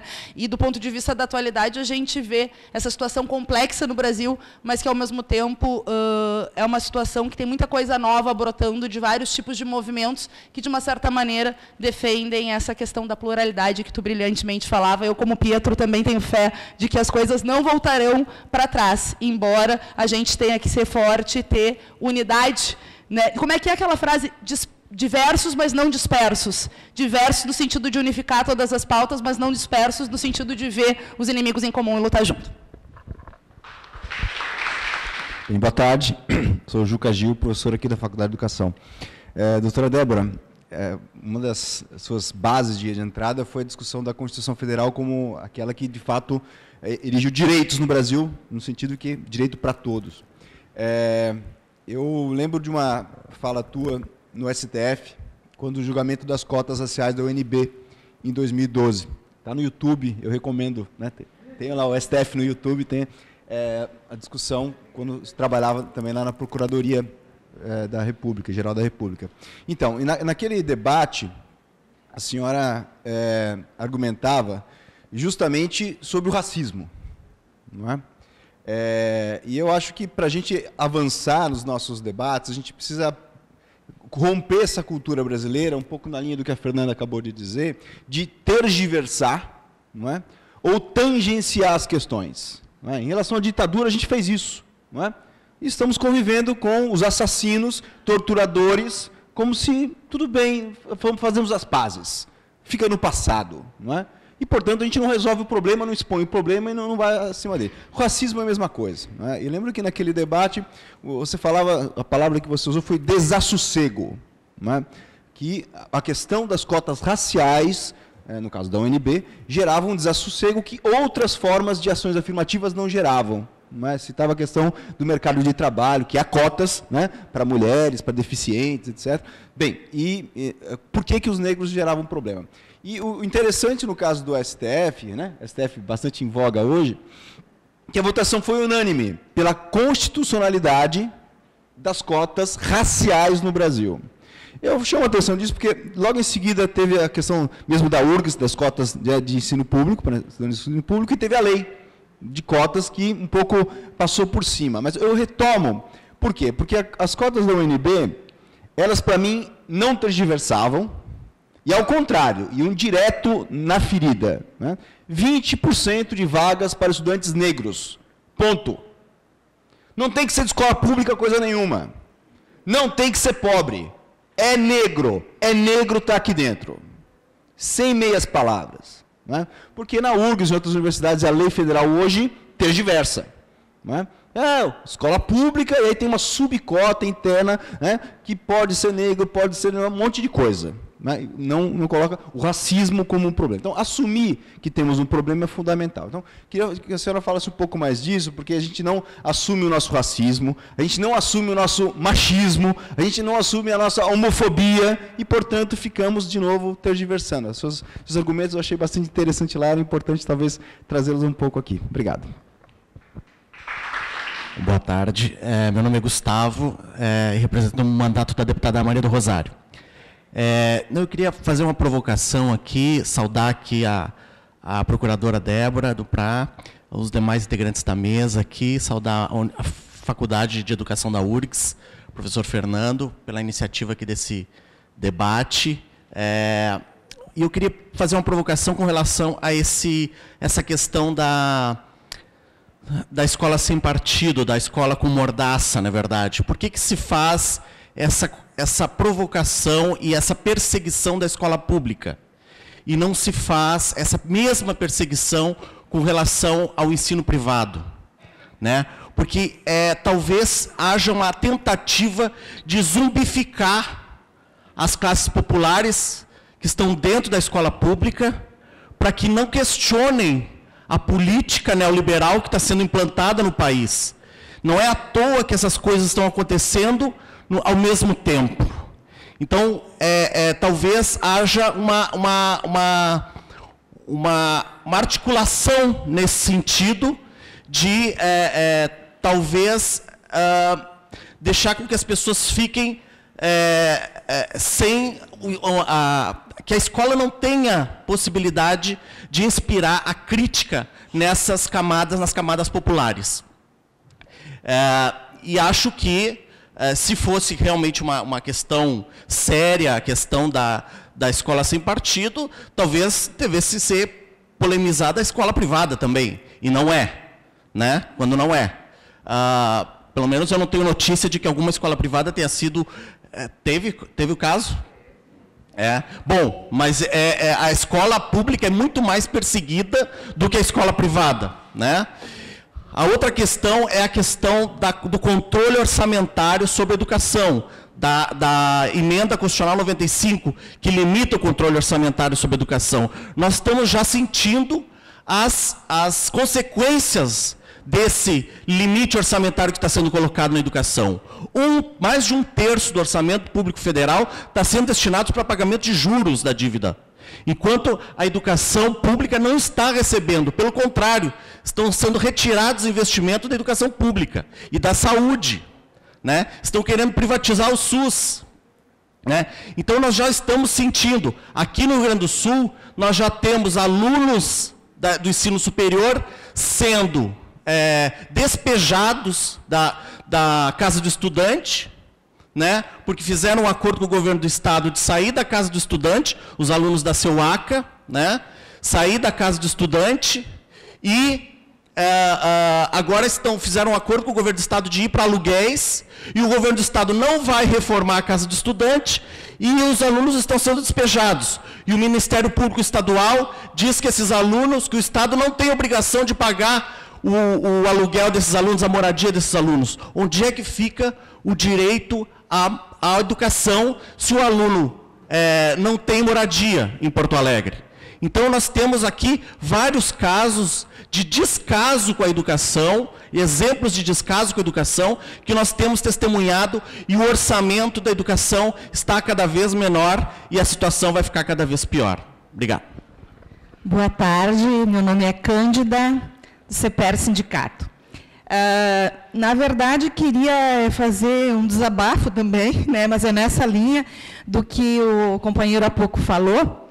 Né, a gente que vem, da, que trabalha na escola pública, e, e a gente sente com maior intensidade toda essa ofensiva uh, ultraconservadora nesse momento. Quer dizer, o que está em andamento, toda a política neoliberal de, de diminuição do tamanho do Estado e que vai repercutir diretamente né, uh, na questão da educação pública e outras políticas públicas, uh, também uh, ela, vem se ela vem acentuar né, no sentido da articulação que é feita com, todas, com todo esse, esse processo do golpe que nós vivemos. Né? Então, a questão do ataque aos direitos humanos uh, dentro de, do projeto da Escola Sem Partido, na verdade, ele está muito articulado a outros movimentos que acontecem. Ah, nós podemos citar aqui a questão da Base Nacional Curricular Comum. A questão da aprovação dos planos nacional, eh, plano estadual, municipais de educação, onde essa questão, especialmente a questão eh, do, da, do, de gênero, né, teve essa ofensiva ultraconservadora. E agora, com essas outras, outras ofensivas, essas outras Uh, iniciativas do governo que vêm no sentido também de jogar para fora da escola. Se nós já temos uma série de dificuldades, de problemas, não chegamos a universalizar né, a educação básica, uh, nós vemos um movimento no sentido agora, por exemplo, de jogar para fora da escola uh, os grupos sociais que estavam em processo de entrar para dentro da escola. Apesar de todas as contradições e antagonismos que a gente vive, né, no sentido da docência mesmo, porque falando, nós falando da, da rede pública estadual, nós temos uma rede de educadores muito conservadores ainda. Então, é um outro, seria um outro problema que também a gente traz. É, é mais no sentido assim de enumerar mais situações que elas eh, dialogam com essa questão do processo da escola sem partido. Obrigada. Meu nome é Jennifer. Eu sou professora do ensino básico. Atualmente eu trabalho com educação popular. E eu queria só esclarecer algumas coisas que acontecem quando a gente trabalha com escolas particulares. É simples assim. A gente dá uma aula explicando o funcionamento de uma máquina chamada Enigma, que caso vocês não tenham visto esse filme, é muito interessante, cujo cientista né, foi perseguido pela sua sexualidade, e daí a direção me chama e pergunta, professora Jennifer, o que, que física tem a ver com homossexualidade? E no final do ano eu sou demitida. é assim que acontece na escola particular. Eles pegam e pagam a indenização que for. É, né, não falam nada para o Simpro, enfim. E é assim que acontece. É por isso que vocês percebem isso muito mais é, na escola pública do que na particular. Porque na particular se resolve muito fácil.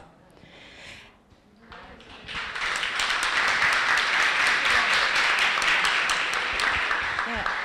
Outra coisa que me preocupa bastante, e daí fica realmente a minha dúvida, é o seguinte: aqui no meio da, acadêmico, identidade e certos conceitos, para nós é muito simples e a gente trabalha com isso de uma forma muito confortável.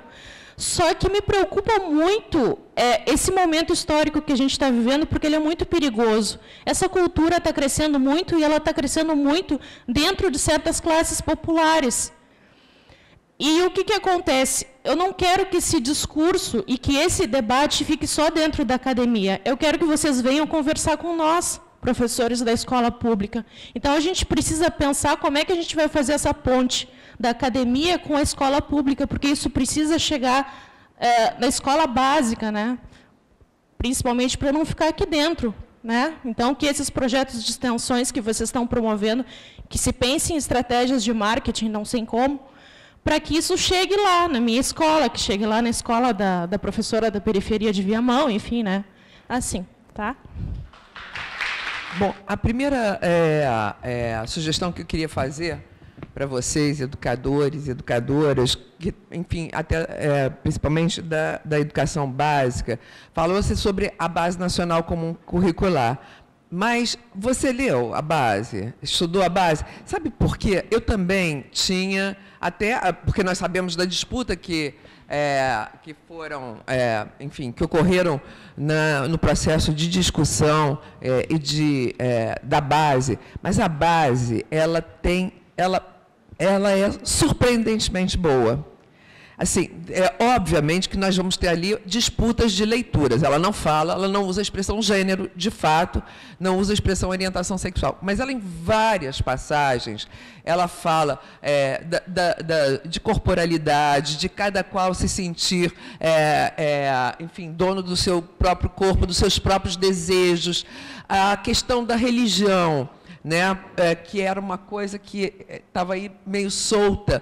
Então, a base, ela de fato, pela primeira vez, coloca a religião como de caráter não confessional, história das religiões, para falar sobre o ateísmo. Então, eu acho que nós temos que pegar, é, ter um olhar sempre é, sobre as possibilidades né, nesse, nesse ambiente que vivemos. Poderia ser melhor? Lógico que poderia. Ela, nós temos uma conferência do Cairo de 94 que determina que as escolas tratem é, é, é, especificamente sobre gênero para vencer exatamente o patriarcado, as relações desiguais entre homens e mulheres. Mas eu acho que eu, eu, eu fui estudar a base, eu acho que a gente é, eu, eu, tem que saber trabalhar essa base, sabe? Não é que é, não, é, eu, é, não, a desarticulação com a reforma do ensino médio, eu acho, logicamente, que tem pontos, não, ela está longe de ser o ideal, mas eu acho que nós temos que pegar aquilo e não abandonar a luta dentro, é, dentro de sala de aula, né, e fora de sala de aula, porque também estamos falando de paredes e não queremos falar de paredes, é, é, é, é reforçando essas disputas. A base, ela não autoriza, ela não é fundamento para nenhum plano nacional invocar é, a proibição de tratar gênero ou invocar a proibição de tratar orientação sexual. Ela não permite isso. É, eu achei muito interessante a observação da Jennifer, né, porque é, eu acho que nós todos nós temos esse compromisso ético de estarmos juntos nas lutas. Né? É, é, foi falado, é, é eu gostei muito da expressão, né? diversos, mas não dispersos, porque fala-se muito em identidade com a noção de que nós estamos sempre na disputa de campos específicos, né? mas nós temos um norte da, também constitucional, que é o da solidariedade, de lutas que se somam, se aproximam. Né? Somos um campo de muitos, é, muitas né, dominadas, e eu acho que isso faz as lutas se aproximarem é, nessa hora. Então, é, é, eu acho que tem que levar. Eu participei de um projeto, de um, de um projeto não, de uma é, experiência muito interessante com uma escola da periferia de Brasília, em que é, alunos do ensino médio, no, é um dos locais mais violentos de Brasília. E alunos do ensino é, é, médio fizeram, é, eles próprios, uma pesquisa sobre a violência nessa região. Fizeram recorte de gênero, orientação sexual, raça, idade.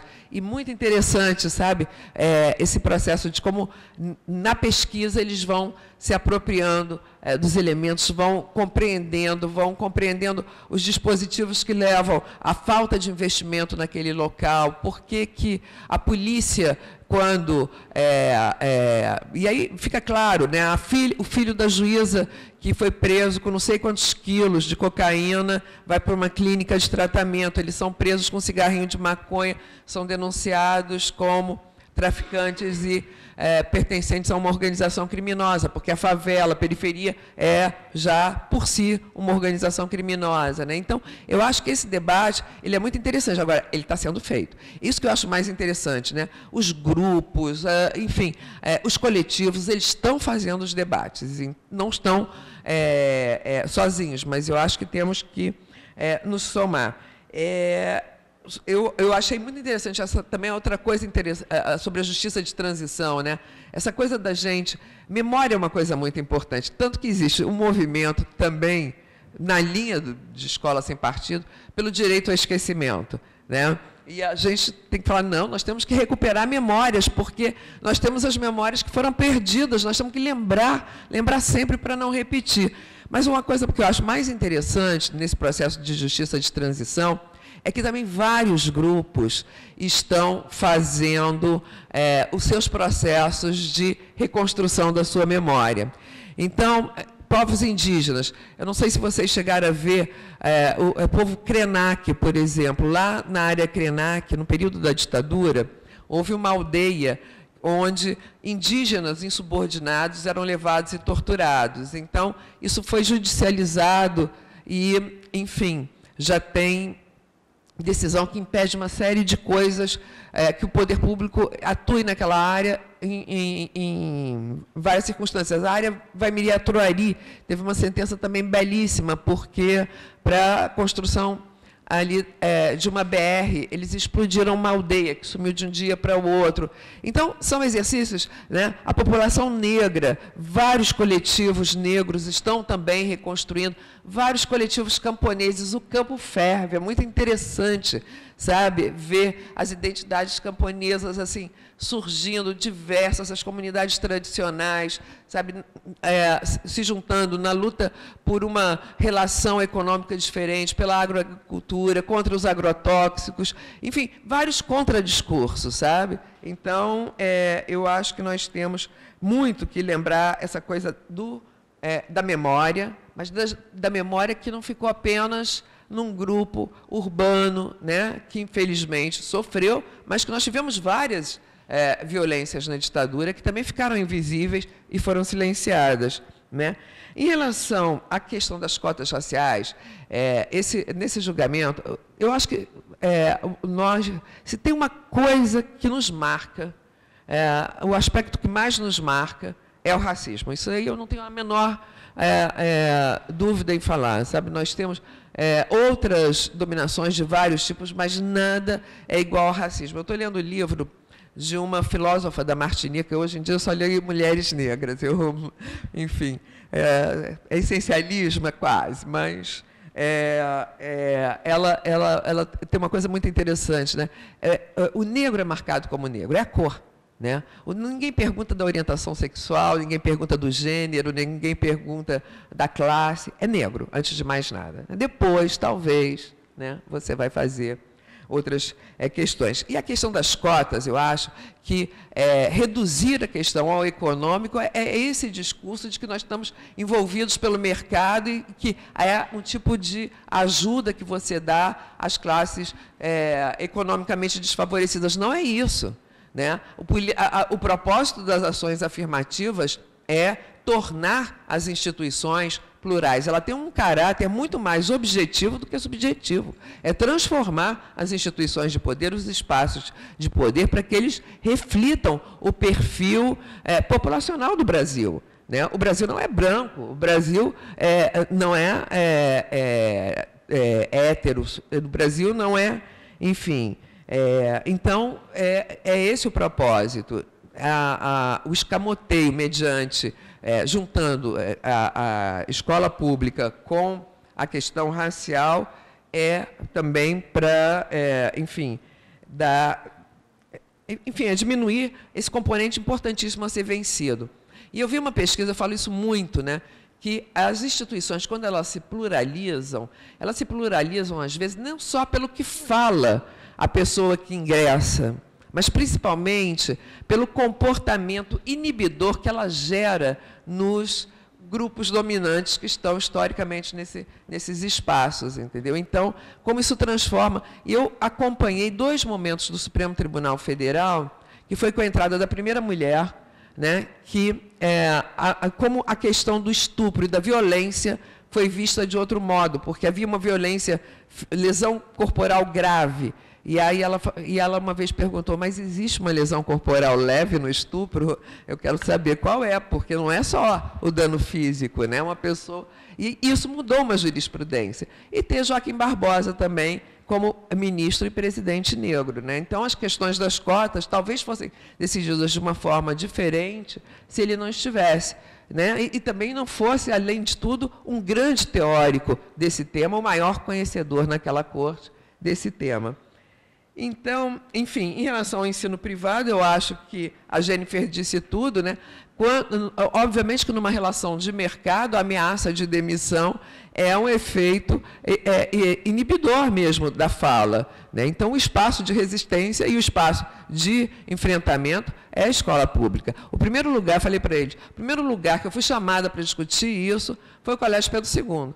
Né? E os professores juntavam livros sobre questão indígena, questão racial no porta-mala do carro, entravam escondido, davam aula embaixo de uma árvore, sabe? arranjavam um jeito, mas estavam transmitindo o conteúdo. Eu lamento, é, é uma coisa absurda. Enfim, em relação ao desinvestimento, existe, é isso que eu falei para vocês, existe ah, a área de educação, apesar de contar com piso constitucional, tem que ter um investimento obrigatório em educação é, ela vai perder, né, porque independe, o investimento independe de arrecadação, vai perder muito, vai perder muito ao longo dos 20 anos.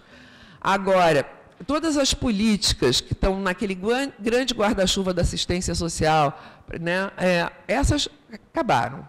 É, o, é, a assistência social, o orçamento desse ano, ela, ele foi cortado em 98,9% em relação a todas as despesas não obrigatórias. As despesas obrigatórias são aqueles benefícios previdenciários. Né? Então, é, praticamente, enfrentamento da violência contra a mulher também reduzido praticamente a zero. Né? Reforma agrária, enfim, eu acho que todo mundo está sentindo, vendo um pouco o que, que é isso. Eu só queria fazer um pequeno comentário nisso que você falou, Débora, da, da importância dessas outras memórias não hegemônicas que vêm é, aparecendo de uma maneira muito forte.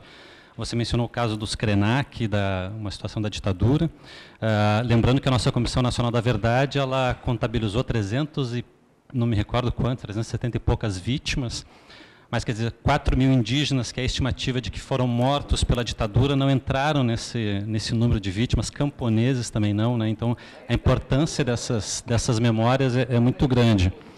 E aí só um comentário à fala da, da Jennifer, uh, estamos aí, Jennifer, é só nos chamar. O Rodrigo já foi em vários lugares, já fui à Rússia, incansavelmente vai em muitos lugares.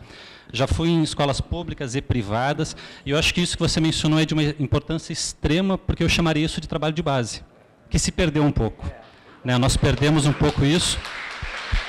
E, e um detalhe, eu não sei se todo mundo acompanha isso, eu acompanho um pouco por, causa, por conta da minha área de saber, que é a história, mas há um, um, um projeto que está que ele é muito bem financiado, ele é muito bem estruturado, ele não é alguma coisa que a gente pode desconsiderar assim como alguma, uma bobagem, como a gente fez com a Escola Sem Partido, e ficou durante 10 anos ocultado lá, e daí quando os Bolsonaro transformam em projeto, aí o estrago já estava feito.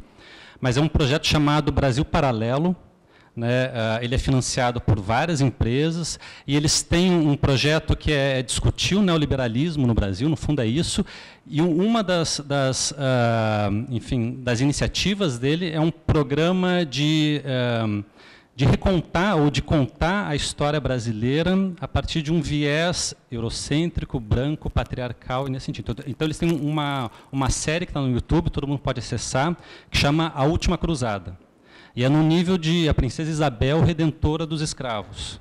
Né? E é no nível de que a propaganda deles é essa série é para vocês aprenderem a desmentir os seus professores de história. Então, tá, e, e, ao mesmo tempo que eles são defensores do Escola Sem Partido, eles vieram aqui na Escola Argentina fazer trabalho de empreendedorismo com os estudantes. Ou seja, foram lá vender o discurso neoliberal. Né? Então, a gente tem que atentar para isso, a gente tem que ir nesses lugares, eu concordo perfeitamente contigo, conta com a gente mesmo. Eu acho que eu posso falar em nome da, da frente escola, frente, a frente gaúcha escola sem mordaça, porque isso é fundamental. Né?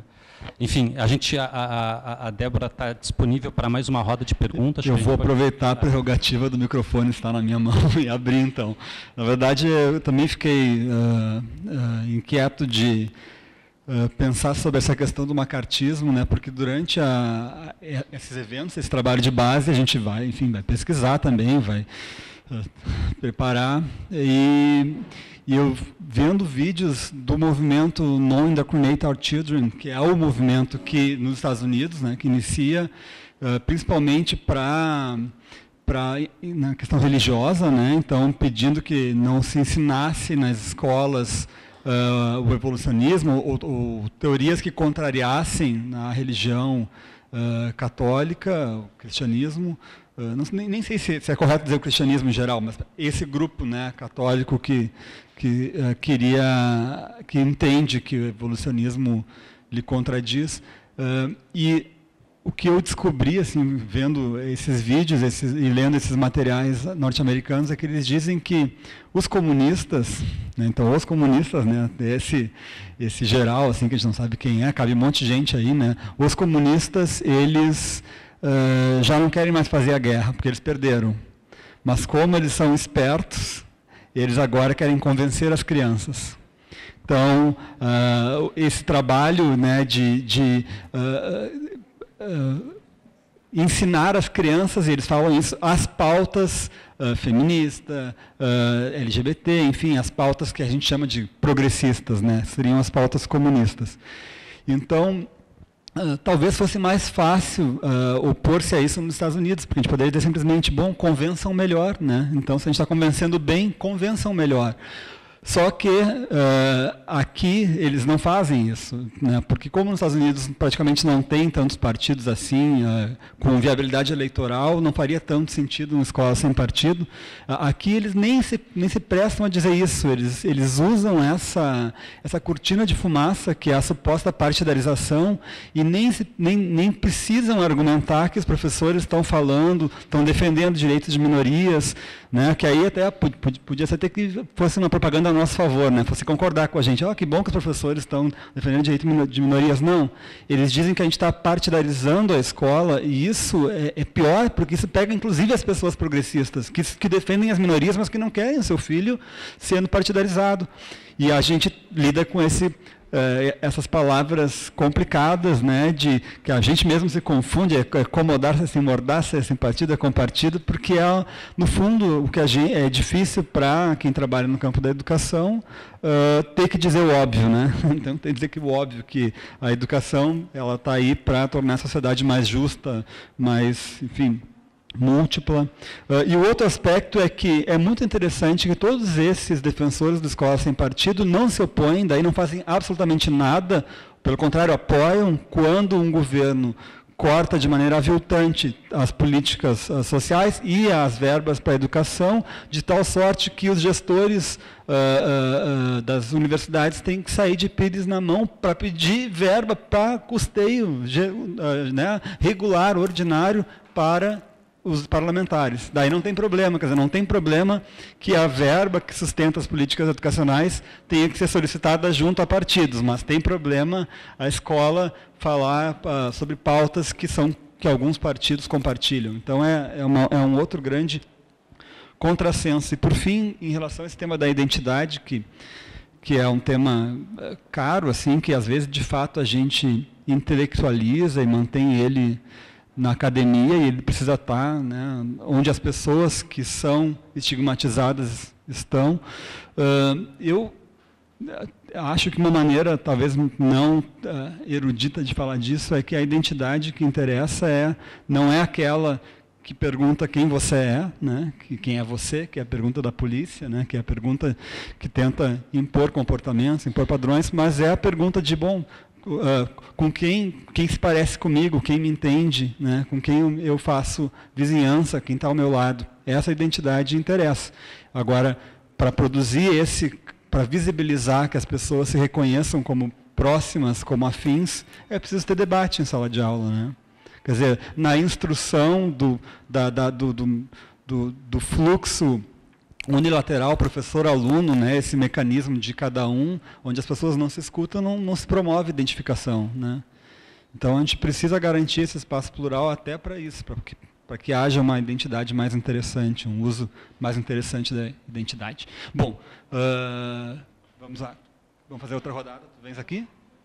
Vou aproveitar só um comentário nisso que você falou, Rodrigo, do, da falta de apoio desse pessoal ao financiamento. Né? Um dos partidários aqui em Porto Alegre gosta de falar que o professor é uma atividade sagrada. Né? Quer dizer, a gente não precisa de veneração, a gente precisa de condições materiais para atuar. Né? Então, quer dizer... Então, boa tarde, eu sou a professora Rosane Zan, faço parte da direção central do CPR Sindicato. E me chamou muita atenção, queria também parabenizar a professora Débora, uh, sobre quando a gente fala em memórias. Né? Eu acho que memórias, no momento que nós estamos vivendo de golpe, o nosso passo, principalmente o, uh, o maior papel que nós temos, educadores e educadoras, é o passo que nós vamos ter que fazer nesse meio desse tempo, de estar revisitando as nossas memórias. Eu acho que Uh, quando a gente está na frente, às vezes, de jovens, esses mais que estão iniciando, ou eu mesma, que estou quase na minha reta final, me daqui, estaria me aposentando esse ano, eu vejo assim, quando eu iniciei isso há 25 anos atrás, no magistério.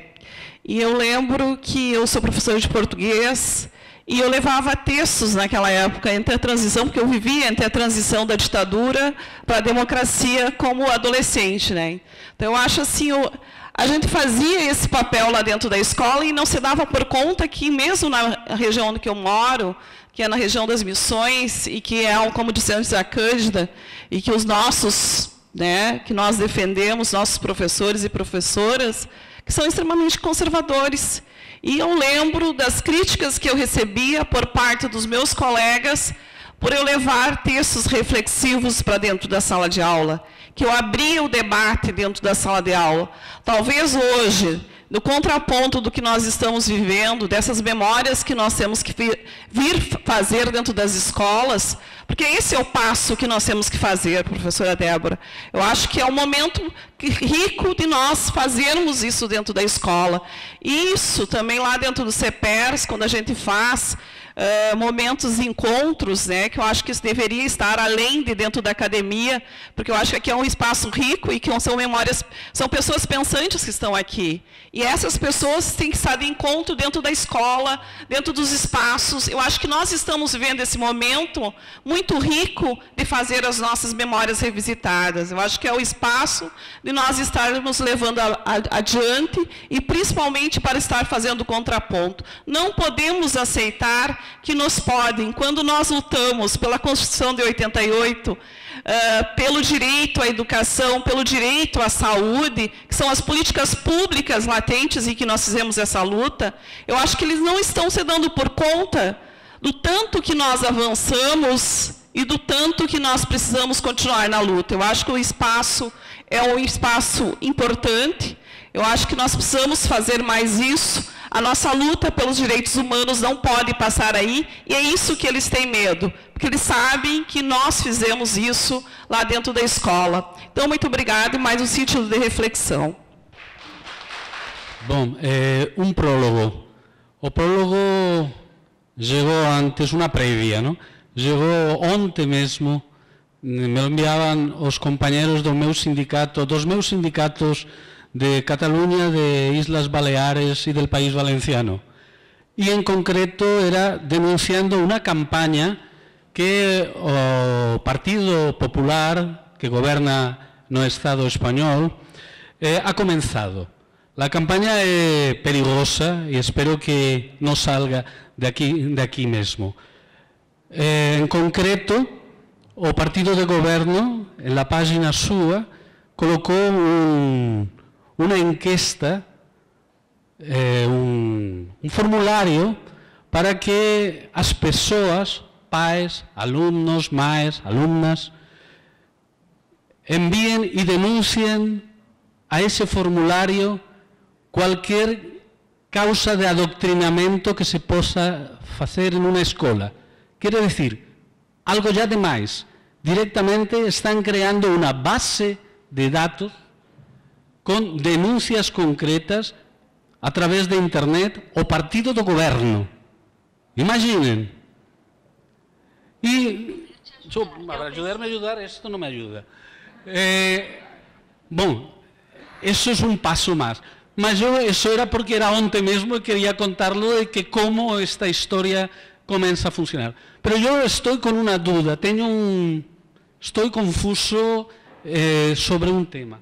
Y es, ¿hasta qué punto eh, a política de os neoconservadores son úteis a la política de os neoliberais en un momento determinado? Porque ya sabemos, todas sabemos todos, y cómo están juntas y como una, según un momento, se sitúa sobre la otra. Eh, as compañeras que están conmigo traballando no grupo de pesquisa a do público e lo privado daqui da Urbes, estamos traballando sobre el tema de as diferentes formas de privatizacións que se están dando neste país e que se están dando especialmente en Río Grande do Sur. Y nos encontramos con las películas de la Ayrton Senna, nos encontramos con la campaña de las parcerías público y privado, nos encontramos con que no hay ningún problema en hacer una campaña de parcería sobre o ejército va a las escuelas, qué cosa más neutral y apartidaria es que los ejércitos van a las escuelas y esto es un programa del gobierno Sartori. Entonces, es curioso, ¿no? Entonces, eh, yo que la duda mía, eh, lo que estoy es hasta qué punto en un momento determinado las políticas neoconservadoras, que son las que responden clarísimamente a, a, la, a esta política de a escola sin partido, forma parte de ese pacote de privatizaciones. ¿Por qué? Porque de alguna manera no hay problema en el tema ideológico en la escuela privada, o empresario vai embora a traballadora que sai fora. Que acontece na escola pública?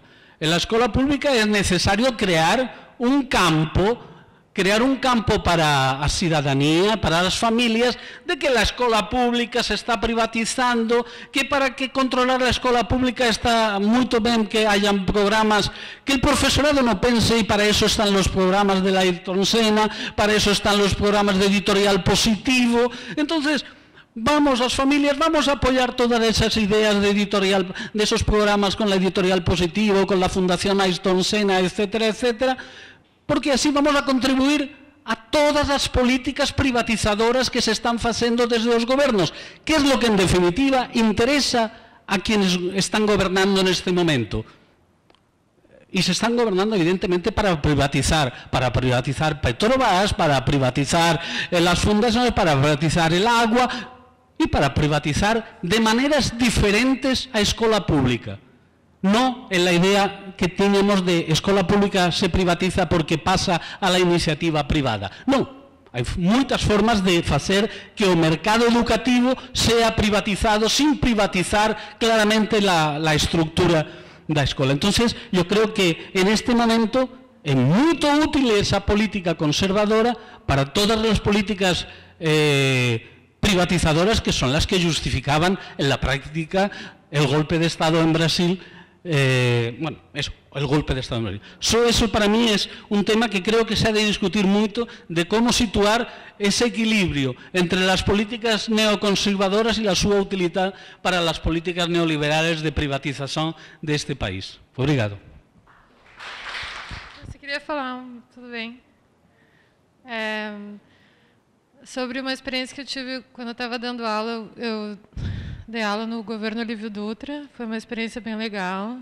A gente trabalhou muito com interdisciplinariedade. E agora até estou tentando voltar da aula, está mais difícil. Naquela época ele chamou, quer dizer, o, o, o Estado chamou todo mundo. Né? E acho que a escola pública é mais perseguida porque ela, ela costura mais com a comunidade. Né? Porque, na verdade, tem uma tendência, talvez seja mercantismo, não sei, de demonizar o que, o que é o mais coerente. Né? E, na periferia existe uma diversidade que se relaciona de uma maneira... Né? Tu, tu, se tu frequenta, tu, tu convive na periferia, tu vai ver que vai ter o negro, vai ter o índio, vai ter o loiro, vai ter o, o gay, eles estão ali, Estamos juntos, porque tem que estar, tá, né? Porque estamos ali, estamos juntos, não tem outra maneira. Então, ali existe já uma, uma troca da diversidade que talvez esse sistema não queira que a gente enxergue. Né? Então, Daí, nessa época dessa, que eu estava trabalhando nessa comunidade, a gente fez uma campanha para abrir um debate sobre a televisão. Né? Então, a gente entrou com o que é o porta-voz da Escola Sem Partido, talvez subliminalmente, né? Porque hoje em dia, a, por exemplo, a Rede Globo, tá, eles ficam nesse discurso de trazer, ah, como fazer o teu black bonito, né? O, o teu cabelo afro com creme, mas é todo um discurso do consumo da identidade, não um discurso da, da liberação da tua identidade. Né? Então, a gente uh, trabalhou com o Além do Cidadão Quem, que é o documentário da BBC de Londres, que mostra como as corporações norte-americanas deram dinheiro para o senhor Roberto Marinho abrir né, a televisão no Brasil para controlar e manipular. Então, acho esse um debate sempre muito coerente, que tem que ser, que, no meu ponto de vista, é importante fazer sempre com as comunidades de de tirar, pelo menos fazer eles se questionarem da, do quanto a televisão está ali mentindo para eles a cada dia, né? E outra coisa que eu acho que eu gosto que tu tem uma fala bem assim otimista, né? Porque a gente precisa disso. A gente fica Sei que está difícil, eu estou vindo de fora, eu fiquei 15 anos fora, daí eu estava nas Ilhas Virgens, a gente pegou o furacão, eu peguei a transição do Obama com Trump, eu vi eles começam acontecer muito um, extermínio já na periferia lá. Isso, esse assassinato que aconteceu com a Marielle, a gente viu acontecendo com várias pessoas na, na comunidade, assim, diretamente, logo depois que o Trump assumiu, a coisa já pesou, assim. E a comunidade já começou a ficar, sabe? Aquela alegria de ver na comunidade existe, mas o primeiro menino que eles assassinaram, ele vendia galinha ali e tal. E toda a comunidade assim demorou duas semanas para se recuperar, sabe, daquilo. Então é uma coisa global, é uma, é um, né, foi uma série de golpes que a América Latina sofreu agora e, e, foi o colégio eleitoral que elegeu ele, então não foi o povo, então é uma coisa global que está acontecendo assim. E ao mesmo tempo está acontecendo globalmente também é essas essa, esse crescimento das ocupações de espaços né a ideia de ocupar ocupar ocupar então tem uma rede uh, pirata uma rede que, que que ocupa e acho que falta informação também e, e link das da gente com com quem está ocupando, se informar, quais os prédios que podem ser ocupados e ali dentro também uma maneira de educar, porque existem maneiras de criar, de recriar, de fazer com que as próprias comunidades se voltem a se organizar, elas mesmas não fiquem esperando, sabe, que venham cortar a grama da pracinha. Todas essas coisas que a gente tem que aprender a não ser tão dependente e fazer esses links também com essas ocupações, né? Então, se não fosse uma coisa tão importante, eles não teriam colocado fogo. Ops, não quero afirmar isso, mas não teria não teria pego fogo naquela ocupação de São Paulo. Para agradecer teu, otimismo, é importante. É, meu nome é Leslie, sou professora do ensino médio de uma escola pública é, da, da, periferia de uma cidade da região metropolitana, da periferia da periferia. É, a minha questão é, que já foi tocada de alguma forma aqui, como fazer um enfrentamento lá no chão da escola, quando se ganha um salário indigno, quando o seu salário, nesse governo, por exemplo, é, a gente, esse, esse mês foi a primeira vez em quase quatro anos que nós recebemos o salário é, antes do final do mês, porque o salário aqui a gente recebe parcelado a partir do dia 5, do dia 10, nunca sabemos quando vamos receber.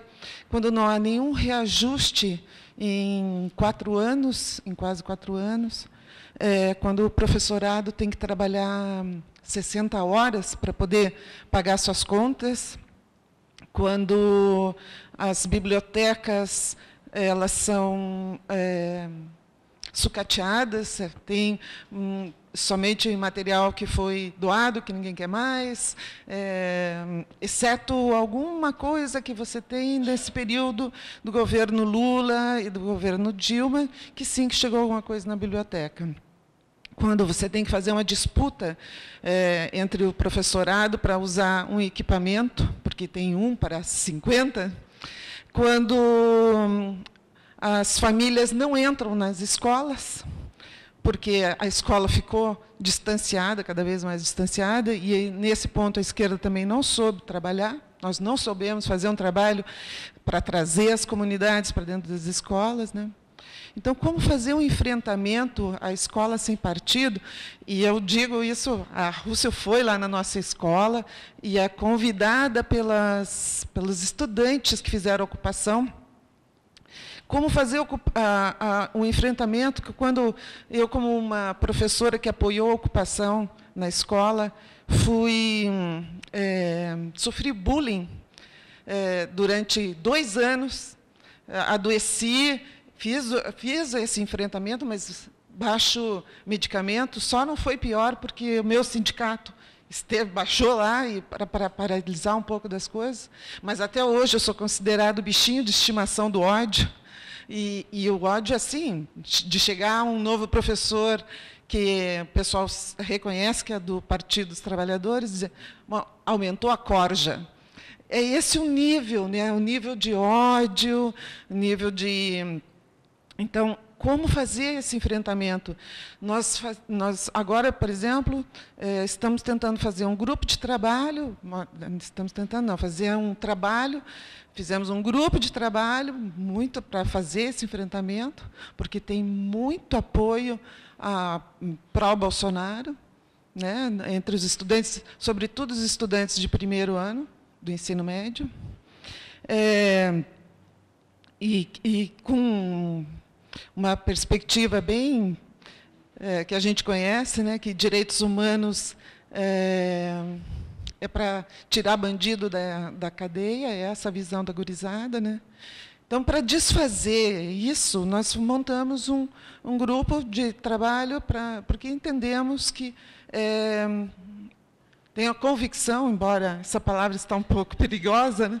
a convicção que através do conhecimento né, para poder fazer, a neutralizar esse discurso. Bom, desse grupo, que somos cinco pessoas, cinco professores e professores, só eu estou aqui porque não tem condições de vir, porque tem, todo mundo tem muitas coisas para fazer, muitos outros trabalhos, inclusive uma delas está indo para a fronteira para poder vender as coisas que ela vai comprar lá no Uruguai, aqui. Que isso é uma professora tem que fazer. Essa é a nossa realidade. Né? Então, ninguém lê há muito tempo. Então, como a gente fazer diante desse quadro? Né? Eu sei que é uma, uma, pergunta que a gente está se fazendo muito, né? Bom, enfim, isso. Alô. Boa tarde a todos e todas. É, o meu nome é Maria, eu sou professora da educação básica no município de Uruguaiana. É, e diante de toda a discussão né, que foi enaltecida aqui. O que mais me preocupa é essa questão dessa onda do discurso de ódio, principalmente aos professores e professoras. A gente vivenciou, até algumas colegas já levantaram a questão do, é, do Plano Municipal de Educação. É, a gente teve um enfrentamento assim bastante difícil né, no nosso município, porque a questão do princípio da laicidade eh, basicamente foi desconsiderada, é, porque a gente teve uma, uma divisão na, na Câmara de Vereadores, quando é, milhares de evangélicos ficaram de um lado e professores do outro, para se discutir a questão da inclusão da identidade de gênero no Plano Municipal de Educação. Então, nessa etapa, assim, a gente vivenciou é uma violência tanto verbal, física. É, então, fomos ameaçados de morte porque nós queríamos discutir gênero na escola. Então, é um ponto assim, até se vocês colocarem na, no Google, é, eu acho que gênero na escola, acho que vocês vão encontrar minha foto. Porque eu virei um meme, né? Então eu viralizei assim em todas as páginas mais reacionárias do Brasil. Né? É, porque e assim, ele ficou né, sendo alvo de discussão, é até hoje, né? E por incrível que pareça, o ano passado eu retornei a meme numa nova versão. Só que aí sobre a ótica do escola sem partido. Né? Que aí fazia uma analogia, né? Que, ah, colocaram assim, ó, é, em Uruguaiana, estudante em Uruguaiana, aí todo mundo triste porque tinha nós, que eram professores que ensinavam gênero. E aí, em outro lugar do mundo, todo mundo feliz porque não tinha gênero na escola. Então, são umas, umas coisas que vão criando, sabe? E a gente vai naquele princípio, né? Que o Escola Sem Partido, ele vem com essa premissa né, de, de apontar que alguns conteúdos podem ser ministrados na escola e outros não. Então, ele fragmenta o, o, currículo, segrega e retira o pluralismo de ideias né, que a gente tanto estava discutindo aqui. Né? Então, é uma onda de ódio, mas que, assim, ó, a gente precisa cada vez mais né, ir nessa caminhada e resistir. Porque é a única maneira da gente conseguir fazer com que a, a gente consiga atingir esses jovens, né, através da educação e realmente é, trazer essa transformação que a gente tanto almeja na sociedade. Bom, é, eu vou começar pelo final, porque eu, eu penso exatamente como a Maria tem resposta é, a Leslie, porque é, é eu, esse pessoal é, a, do Escola Sem Partido, é, enfim, e, e, a bancada evangélica também, enfim, é, nessa proibição de discussão de gênero, o que, o que eu acho que a grande arma é essa de está é, tá em, é, em, permanente ataque, está né? Tá sempre buscando os espaços onde é, eles podem te alcançar. Eu tive várias representações disciplinares por conta dessa nota técnica. Outros colegas e colegas que fizeram a mesma coisa junto à Assembleia Legislativa também sofreram processos disciplinares. Então, enfim, é, é, eu acho que é, é a palavra é resistir mesmo, Leslie. E é, lembrando que a, a, valorização de professor, é, inclusive em termos salariais, de, de carreira, o Brasil, é, um dos ODS, né, Objetivos de Desenvolvimento Sustentável. O Brasil se comprometeu, está na Agenda 2030 e, enfim, temos que lutar. Mas eu queria começar, eu queria voltar à questão do neoliberalismo e da, desse, desse movimento neoconservador. Porque eu não sou uma estudiosa disso, mas eu acho que é um campo muito interessante para a gente é, é, começar a, a, analisar e denunciar exatamente o que, que é, o que, vai, o que está acontecendo.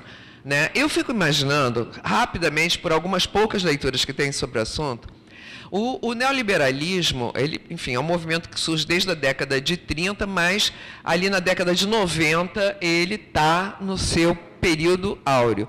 A Constituição de 88, ela, portanto, nasce dentro dessa disputa e assume um lado que é exatamente contrário ao é, do, do, do, neoliberalismo. É um fortalecimento do Estado, o investimento do Estado, o compromisso do Estado né, com é, pautas, com investimento. E eu acho que a disputa, é, essa disputa que, enfim, ela foi vitoriosa no, no, no processo constituinte, ela começa a ser combatida já no dia seguinte. Né? E é muito interessante porque a matriz do neoconstitucionalismo é, é enfim, é o, o, a grande obra da, enfim, que tem muitas matrizes, né? mas uma das principais é a origem das espécies do Darwin. Né? Então, é essa concepção de que na, sociedade, assim como na natureza, vencem os melhores. E tudo é deixado, portanto, nesse jogo do, da competição e que vençam os mais capazes, tirando o Estado desse, é, desse campo. Só que essa concepção darwinista, ela é a matriz de todos os racismos. Né? Ela é a matriz do racismo é, da cor, ela é matriz da misoginia, ela é matriz da LGBTfobia, ela é matriz da, é, é, é, do preconceito contra o trabalho em favor do capital, porque exatamente ela considera que a sociedade ela é regida pelo, pela meritocracia, e a meritocracia ela está encarnada em sujeitos específicos. Entendeu? Então, essa disputa, eu acho que ela está desde a origem. Então, o neoconstitucionalismo ele agrega necessariamente essa visão neoconservadora de que não há porquê investir em pluralismo, porque o próprio jogo do mercado vai é, eleger os melhores. Né? Então, eu acho que isso precisava de fato, que eu acho de pesquisas maiores, mas eu acho que nós temos que é aí campo para isso, é, para, enfim, pensar. E é muito interessante é, ver o que está acontecendo no Brasil, em termos de estratégias para combater a chamada crise fiscal, com o que aconteceu na Europa é, e nos Estados Unidos em 2008, né, que foi a grande crise, é, é, né, uma das grandes crises do capital, em que esse tripé ele foi é, exatamente adotado. Né? É, é a, a, o limite do investimento público, né, é como nossa, a nossa, o nosso teto de gastos, a reforma trabalhista, mediante precarização das relações de trabalho, e a reforma previdenciária. Né? Nenhuma dessas é, políticas deu certo. Né? Então, isso levou a vários organismos internacionais, inclusive o próprio FMI, a chamar a atenção para ineficácia dessa política de uma maneira geral. E vários órgãos de direitos humanos para mostrar o conjunto de violações de direitos humanos que vão agregadas a essas políticas, porque o grande norte hoje em dia do direito internacional são dois princípios, né? A proibição de discriminação, é, é, enfim, é, é o princípio da igualdade é, material e o enfrentamento a miséria e a pobreza. E essas políticas, uma vez adotadas, elas geraram maior desigualdade e retornaram à miséria e à pobreza um contingente enorme. Nós temos hoje, né, segundo dados mais próximos, 11% da população que retorna a níveis de pobreza extrema. Então, eu acho que precisamos lembrar disso, que chegamos a avançar conquistamos políticas, conquistamos uma sociedade um pouco mais justa. Né? E eu acho que isso que deve nos mover, basicamente. E pensar que aquela foto inicial, né, no dia seguinte ao impeachment, né, a foto da posse de homens, todos eles masculinos, brancos, engravatados, nos deu exatamente o sinal do que vinha. E uma coisa muito interessante que foi falada sobre a mídia, é, Domingos está aí, enfim, também é um estudioso sobre comunicação social. uma das primeiras medidas desse governo foi acabar com a EBC. Acabar no sentido de pegar uma empresa que foi criada com uma perspectiva de trazer informações plurais, informações fora do mercado e do governo e é, é, acabar com todas as políticas, enfim, com, com, com, o mandato do presidente, acabar com o conselho de participação social. Aliás, uma das características do neoliberalismo é o asco pela participação social, né? porque o governo é dos meritocratas, é o governo dos iluminados. Né?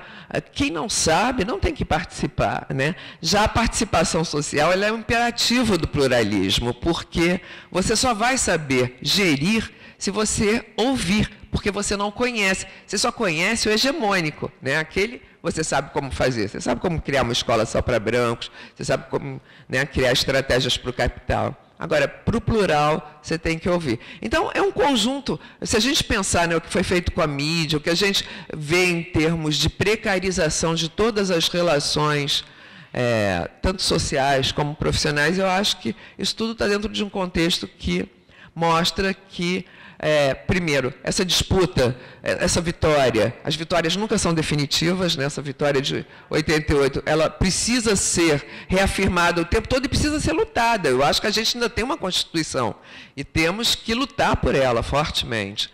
Né? E, enfim, é, e, e pensar que tivemos um momento em que alguma coisa podia ser diferente. Né? E, e, e enfim, estamos vivendo. Então, então, a princípio, eu diria, em cognição sumária, para além de qualquer dúvida razoável, que tivemos uma excelente tarde, né? Uh, graças a, enfim, a, as colocações assim muito, muito lúcidas, muito consistentes, muito uh, relevantes que a, a Débora Duprá trouxe.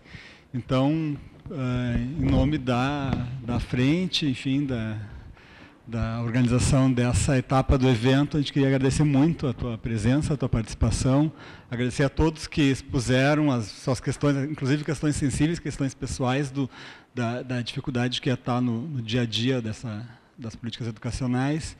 E avisar que às, às 18h30 nós teremos a mesa 2 do evento, que é, chama Escola Sem Partido, e as ameaças ao direito à educação, a quem interessa, uh, onde teremos a, receberemos a professora Nora Kravsik, uh, da Unicamp, com a mediação da Caroline Passievich da Paula de Lima.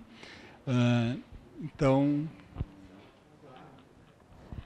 Eu só quero anunciar que vocês têm aqui em, é, em Porto Alegre, enfim, vocês podem contar é, com a Procuradoria Federal dos Direitos do Cidadão incondicionalmente. Para a gente, essa questão da educação, ela é, como eu disse, absolutamente estratégica. Mas eu tenho aqui é, Domingos, que é meu adjunto e que, enfim, é, dá aula aqui também, mas, enfim, está em Brasília, mas eventualmente, né, para é, encontros, e Paulo Leivas também, que é também procurador da República e trabalha todas essas questões com a gente no cotidiano. Então, aqui mesmo, eu acho que vocês mais proximamente, né, para essas essas é, atividades é, de base, né, vamos dizer assim, eu acho que a gente pode pensar e aí, enfim, acumular esforços, estarmos juntos. E só para concluir mesmo, convidar todos e a todas para amanhã de manhã ter uma roda de conversa aqui nessa sala, entre nove e meio-dia, 605, então, desculpe, na sala 605, que é uma roda de conversa para trocar experiências, professores e professoras vítimas de assédio, enfim, que possam relatar aqui para buscar estratégias também de resistência e de lutar contra todas essas formas de violência. Então, mais uma vez, Débora, muitíssimo obrigado por toda tua fala muito generosa, pela tua disponibilidade de estar aqui. Acho que foi um. Saímos melhor desse evento do que quando entramos. Né? Então, muito obrigado a presença de todos e todas. E fiquem então para mesa 2. Rússio, quer falar alguma coisa? Então tá. Então está encerrada a mesa.